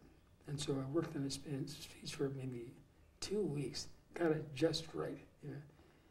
And as, as I thought, it was long, half an hour speech, but I knew from my writing that I could hit it on the head and hold their attention man, I had him crying. Because the point was, how do you relieve the grief? You know, don't grieve about the situation. Take some pride in what your husband did or your son did. That, that he's, he's, he's immortal. He stepped onto the battlefield and became immortal. Do you understand immortality? hammering away these people and uh, raising my voice. And uh, I thought, thought to myself, gee, you know, this is such a gift I'm giving. It's not that I'm so good, but I know what to do about grief because my mother died at an army hospital. My father died from wounds in, in World War II in North Africa. My brother was killed in Belgium, and my little brother uh, died in childbirth, and my nephew, halfway through his life, was just died, and my sister dies in, a, you know. So, so I know a lot about grief, you know, a lot about grief. Um, so I I want to communicate that. So I'm, I'm, I'm telling Diana this, this speech, this is what I'm trying to do. And then I thought to myself, no, I'm not going to tell her what I want to do. I'm going to read it to her and see if she reacts. And she reacted the way I thought it was. And of course, I walk away from the cemetery thinking, man, I have done good. I have done something good. With the little talent that I have, I've still done something good. And that's my mission in life, to try to do something good. Real simple, huh? that's my motto. I think that's a very good uh, theme to permeate the Wallach life. If, if you were going to, uh, you know, as we're finishing up, I wanted to ask, I asked you earlier, and I mentioned it earlier, you know, the highs and lows in our lives, Mhm. and the highs and lows in our careers, and, and the many careers you have. You know, I have a lot of different highs, Mm. and maybe some of the lows you've already inferred. Uh, What might some of those be that were things to you that were um, the peaks and the valleys? The lows or the highs. Both. well, I always want to be a general, you know. Uh, and I hungered after that. I got always working towards it, but I, I, got, I got to antagonize a lot of people, and will continue to antagonize a lot of people. And uh, in spite of the fact that I know you have to be gracious and kind, I, I wasn't going to acquiesce to their bullshit. You know, they either had to accept my worth and value and my brains, or or tell me to kiss off and punish me, and they did. They, I got held up several times. Um, second thing, I, I wish I would have been able to have commanded a brigade or a battalion just to see what it felt like. uh, but I didn't get that chance. But that's not, not, not a, that's not a real low um, level of trust.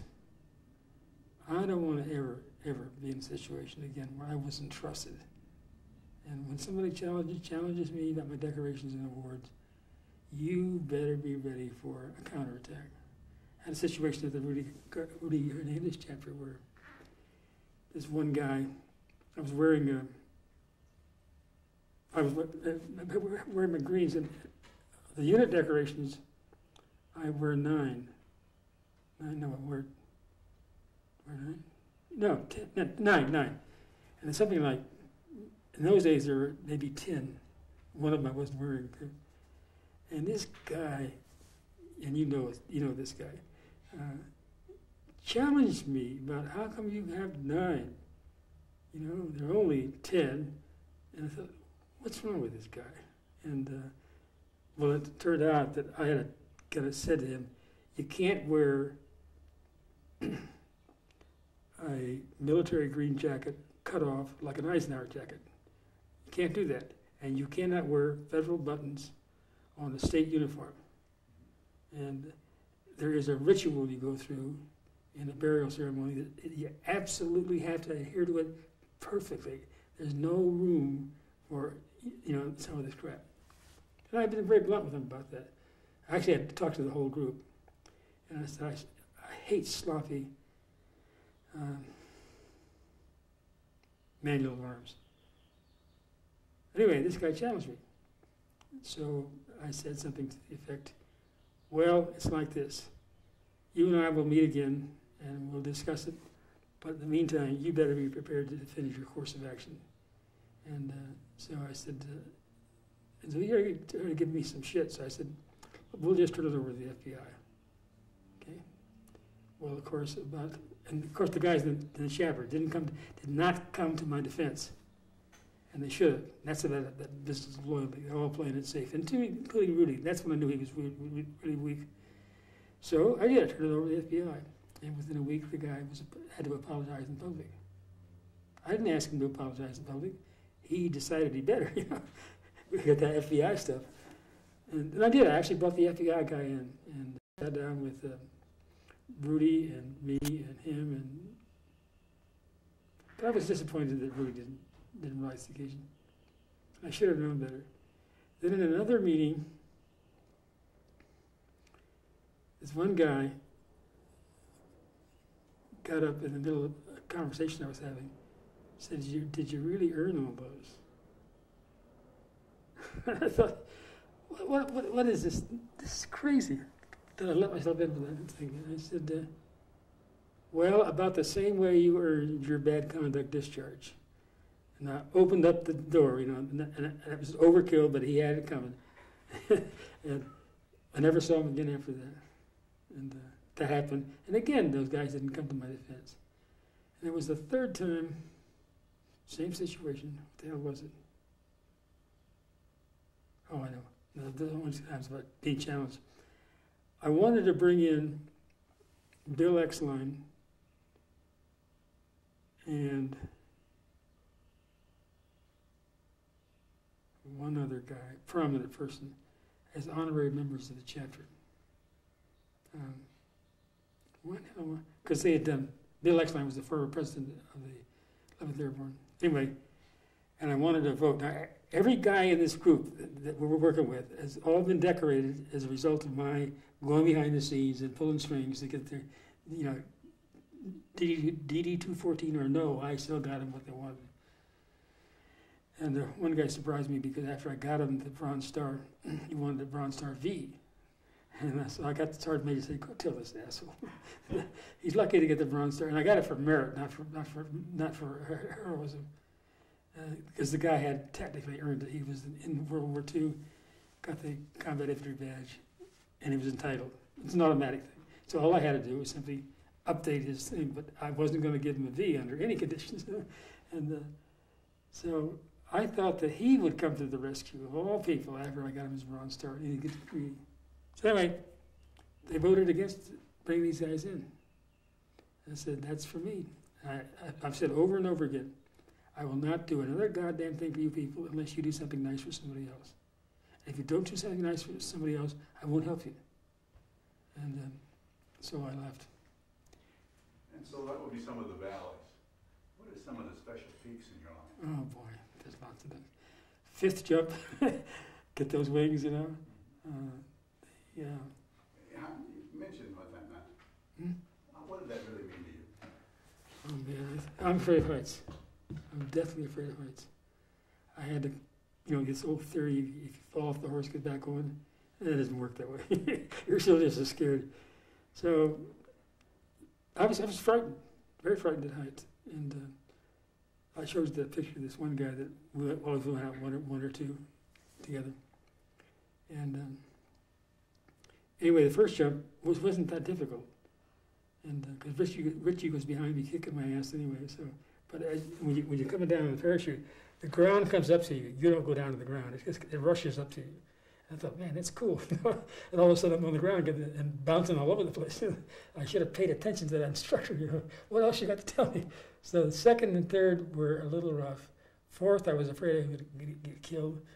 The fifth one, I finally got the wings, and I never have to get in this damn airplane again. Of course, I didn't know I was going to be assigned to an airborne unit, and uh, so that was a big thrill, big big thrill. Um, you, know the old saying, you're either airborne or you shit. the, the, airborne fraternity is, is really quite good. Most people are afraid of jumping. I am. That was one of the peaks. When I got commissioned, I am an officer and gentleman by act of Congress. I am a commissioned officer in the United States Army. And Daddy, don't you ever forget it, because I am it.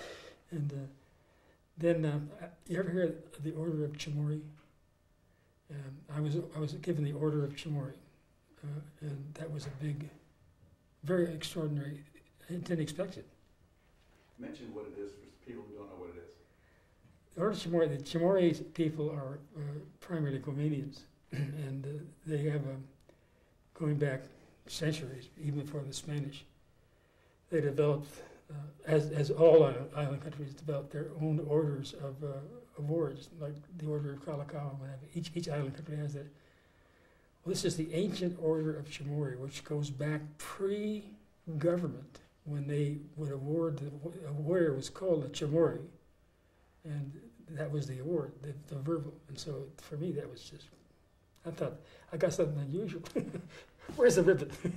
uh, then, uh, let's see, what was the, the uh, oh, when, when the Korean thing started, uh, at the Korean um, party, no, I wasn't Korean, where the hell was that? Oh, Queen Sirikit of Thailand and, and King Bhumibol um, cited me, and they don't give out medals to foreigners, but they gave silver boxes. And I got this silver box from the Queen, from the Queen. You know, I thought, man, this is this is cool. This is really cool. I am being singled out by the Queen, and uh, uh, Bhumibol was was very very gracious. My Olympic introduction. Um, got a, got four thousand people applauding me. You know, stand up, and that was very, very. It, it's not that, not so much about the fact that we had ended it, we were successful. They're recognizing that I was the leader.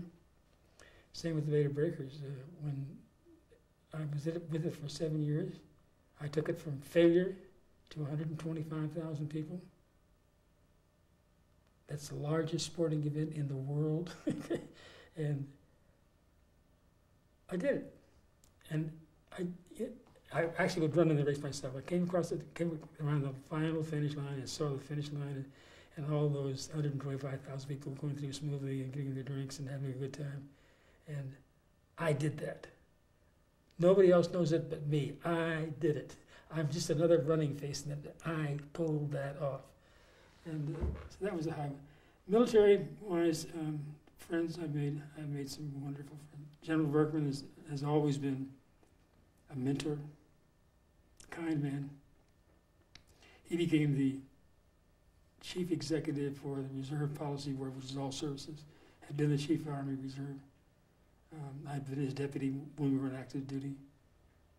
Um, I got the oh, no, I got awarded the Japanese uh, Special Forces wings, which is not too bad. and uh, I got the Philippine oh, I got the Philippine National wings from uh, what's his name uh, himself, uh, Marcos. It got a lot of a lot of uh, jewelry recognition, you know, that I could wear, and I got caught up in it for a while. Oh, the, the big one, the big, the giant one is.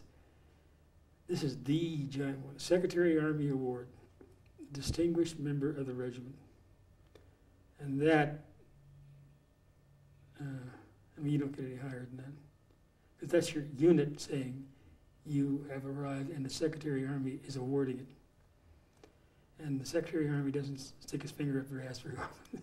so, um, I guess then my kids, I used to go to the office, live with my kids in, on, in Japan. We were living, living in Japan uh, after Mass, you know, and we go in and I'd be at the uniform, I'd be here, my wife, and then all these little ducklings behind me, you know.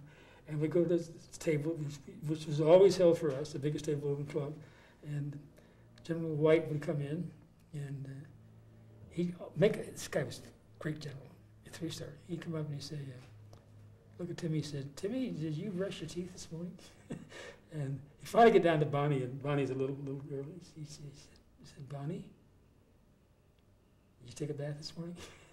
and oh yeah, that kind of stuff. Dialogue, and uh, so Bonnie said something smart ass to him, something like. Yes, I did, sir, but did you, or something like that.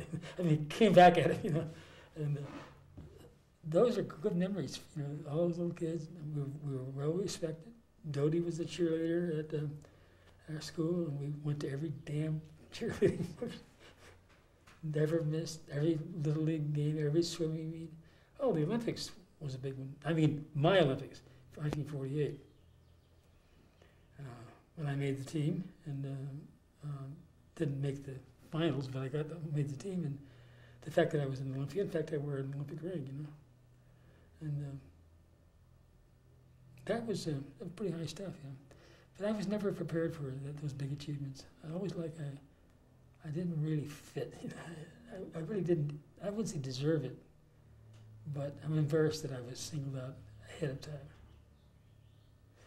I had this, this dream about my funeral. I am not getting a military funeral. I'm not having a mass. I'm not having a eulogy. I'm not having anything. You're gonna burn me up, put me in a cardboard box, fly me to Hawaii, drop me off the reef. and Timmy's gonna, and my buddy from West Point, paddle out and just plunk, and not scatter, or just plump, so that the kids have a place that they can go see. Yeah, Dad's out there someplace. You know, there's a particular place we all served off of. Well, you know, Makapuu Beach. And uh, so, you know, it's all got to come to an end properly. You- You're in a process, you're born and you go through the, the difficulty of your early life and you continue on this train. And I'm coming to the end of my train. And um, it's going to end right because I've lived right. And there's some things I, I really, really regret.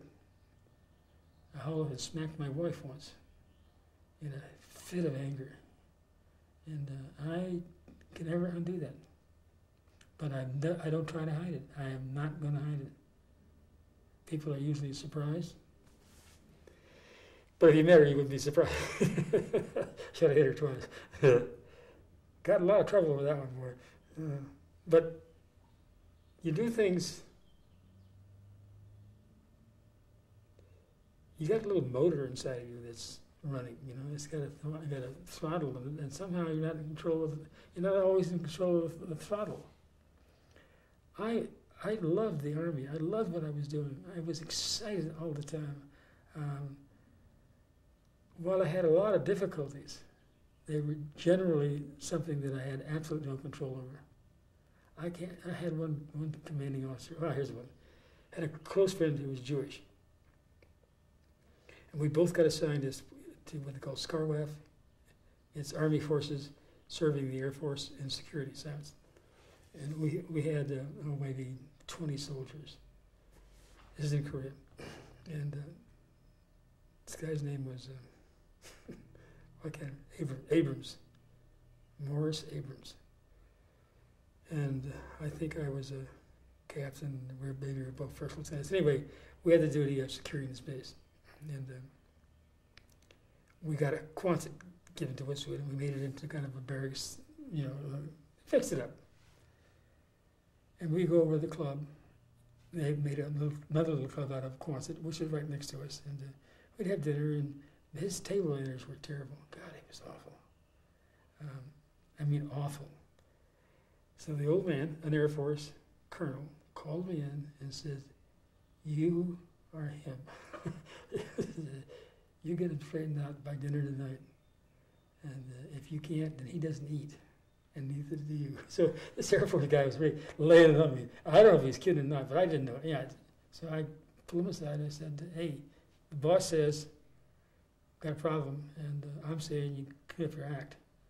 You have better table manners, and I'll teach you how to do it if necessary. Well, you're just being anti-Semitic. You know, that's like, I said, what's my last name? He said, it's Wallach, isn't it? Wallach, W-A-L-L. Ever hear of a, a Jew by the name of Wallach? There's lots of Wallachs that are Jews. So if I'm anti-Semitic, you're the Pope. Do it by tonight. so, you know, I was a little ashamed that the guy would accuse me of being anti-Semitic, but he's just mad. You know. Years later, we met again, and he was now my senior officer. And uh, I thought, God, here it comes. I'm going to get it now. He, he, he, he said to me that you know it's the best thing that ever happened to him. I don't know if he, believes it or not, but that was one of those little unique experiences you go through.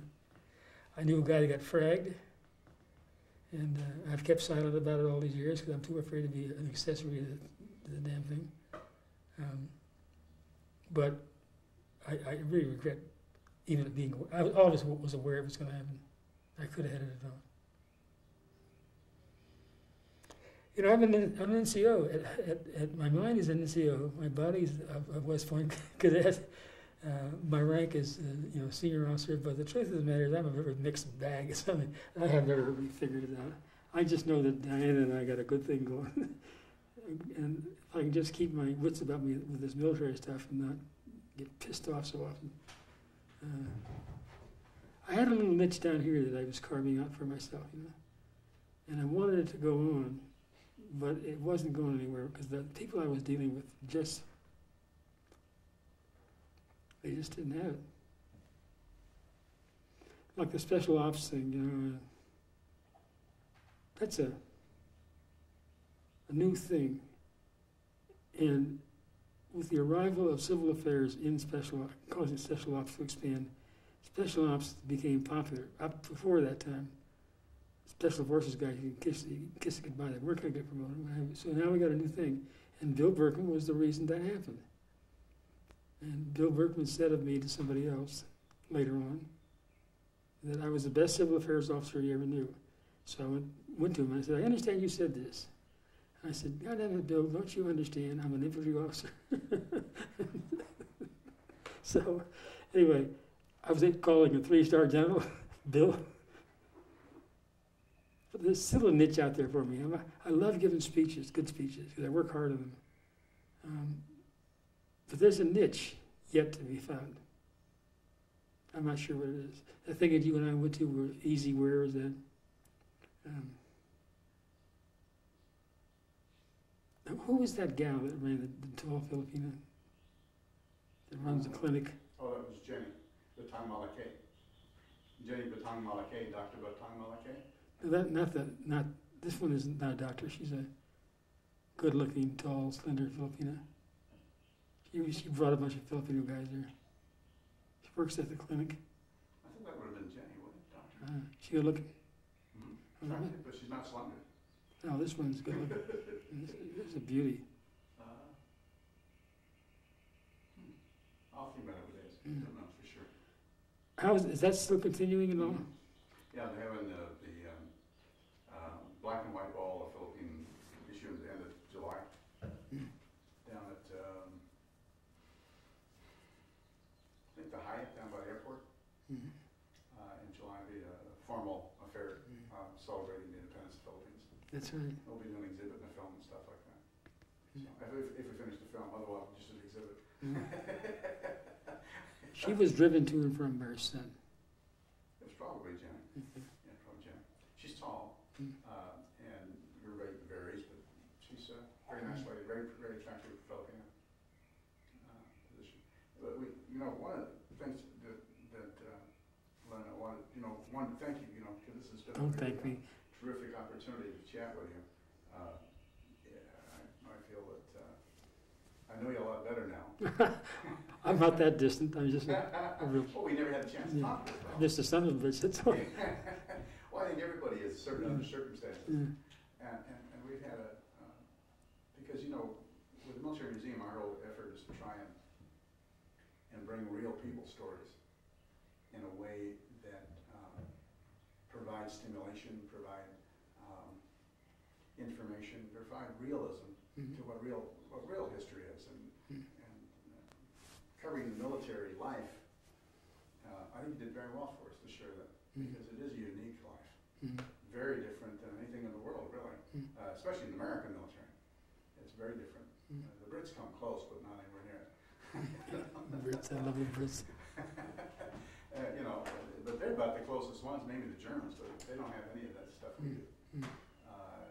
Is about all they have. Mm. Uh, so there's there's uh, some real unique things Mhm. that we developed in this strange little country of ours. Um, and, then, and I think you've been able to convey that real well. Mm. I really uh, figure out some way we can make sure that we get this out. and how we're going to do that because there's unique stories here. And I, and I wanted to thank you on that because this is really a, a unique story for us. Let me show you something that I'm going to give to you, not right away, because I have to get the children off the off the, the gift list. And uh, come on upstairs. Actually, I can't really see too much. Okay. Now, if we could do it this way. And Medal from Vietnam, as is this and this. This is the honor medal for officers. This is the uh, civic action or civil action, and this is the campaign medal. These are Vietnam issued. This is a World War II victory. This is a special medal awarded to civilian service in Vietnam, and this is, uh, surprisingly enough, the California Medal of Merit. Okay, let me that. This is the uh, Vietnamese Army uh, Cross of Valor, or Valiant, yeah, Cross of Valor. This is a special cast medal for the commemoration of the American and Korean veterans uh, of the war, combat veterans. United Nations Medal awarded for in service to the United Nations in Korea. Oops, this is the American Campaign Medal uh, from World War II. This is the um, California National Guard uh, Commendation Medal, and it's got an interesting title. It says "Bring Me Men, Bring Me Men to Match Your Mountains," and this is, believe it or not, the California National Guard Good Conduct Medal. Okay, look at this here. This is the Military Service Medal, uh, American Army awarded three times. This is the Army Commendation Medal awarded twice, three times. Army Good Conduct Medal, which is missing its second uh, award. Asiatic Pacific Medal, Asiatic Pacific Campaign Medal for during World War II. This is the Vietnamese Campaign Medal, and this is the Korean Service Medal.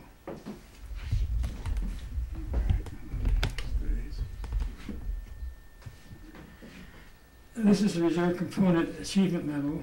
This is the Expeditionary Force Medal.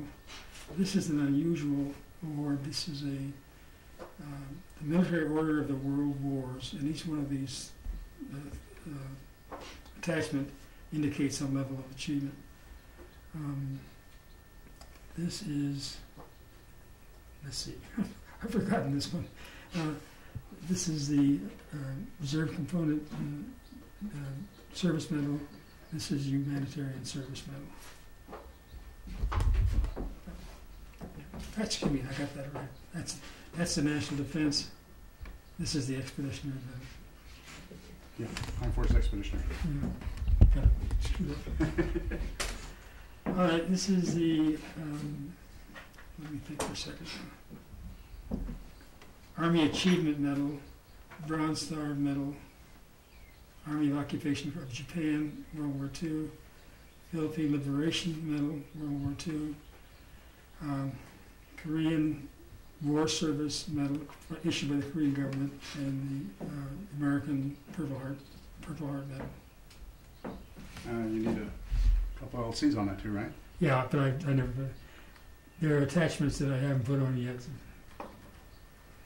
And, um, That's a very interesting one. This is a kind of a collection, potpourri. Combat Infantry Badge,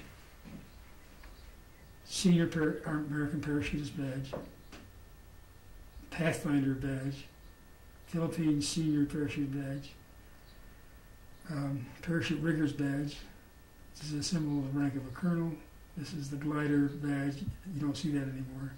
This is United Nations Partisan Forces in Korea. These are behind the line guys. This is the Japanese Special Forces badge. This is Special Operations Command, 511 Parachute Infantry Regimental Crest, Civil Affairs Regimental Crest, and these two are the the uh, 159th Infantry insignia for a distinguished member of the regiment. This is an aide de camp uh, uh, insignia for a three-star general, and this is the 351st Civil Affairs Medal. Uh, this is the uh, this is the organization that began the involvement in Special Operations Command. Like that. Good. You good there? Enough, enough, to kill some of the glare that way? Uh, sort of.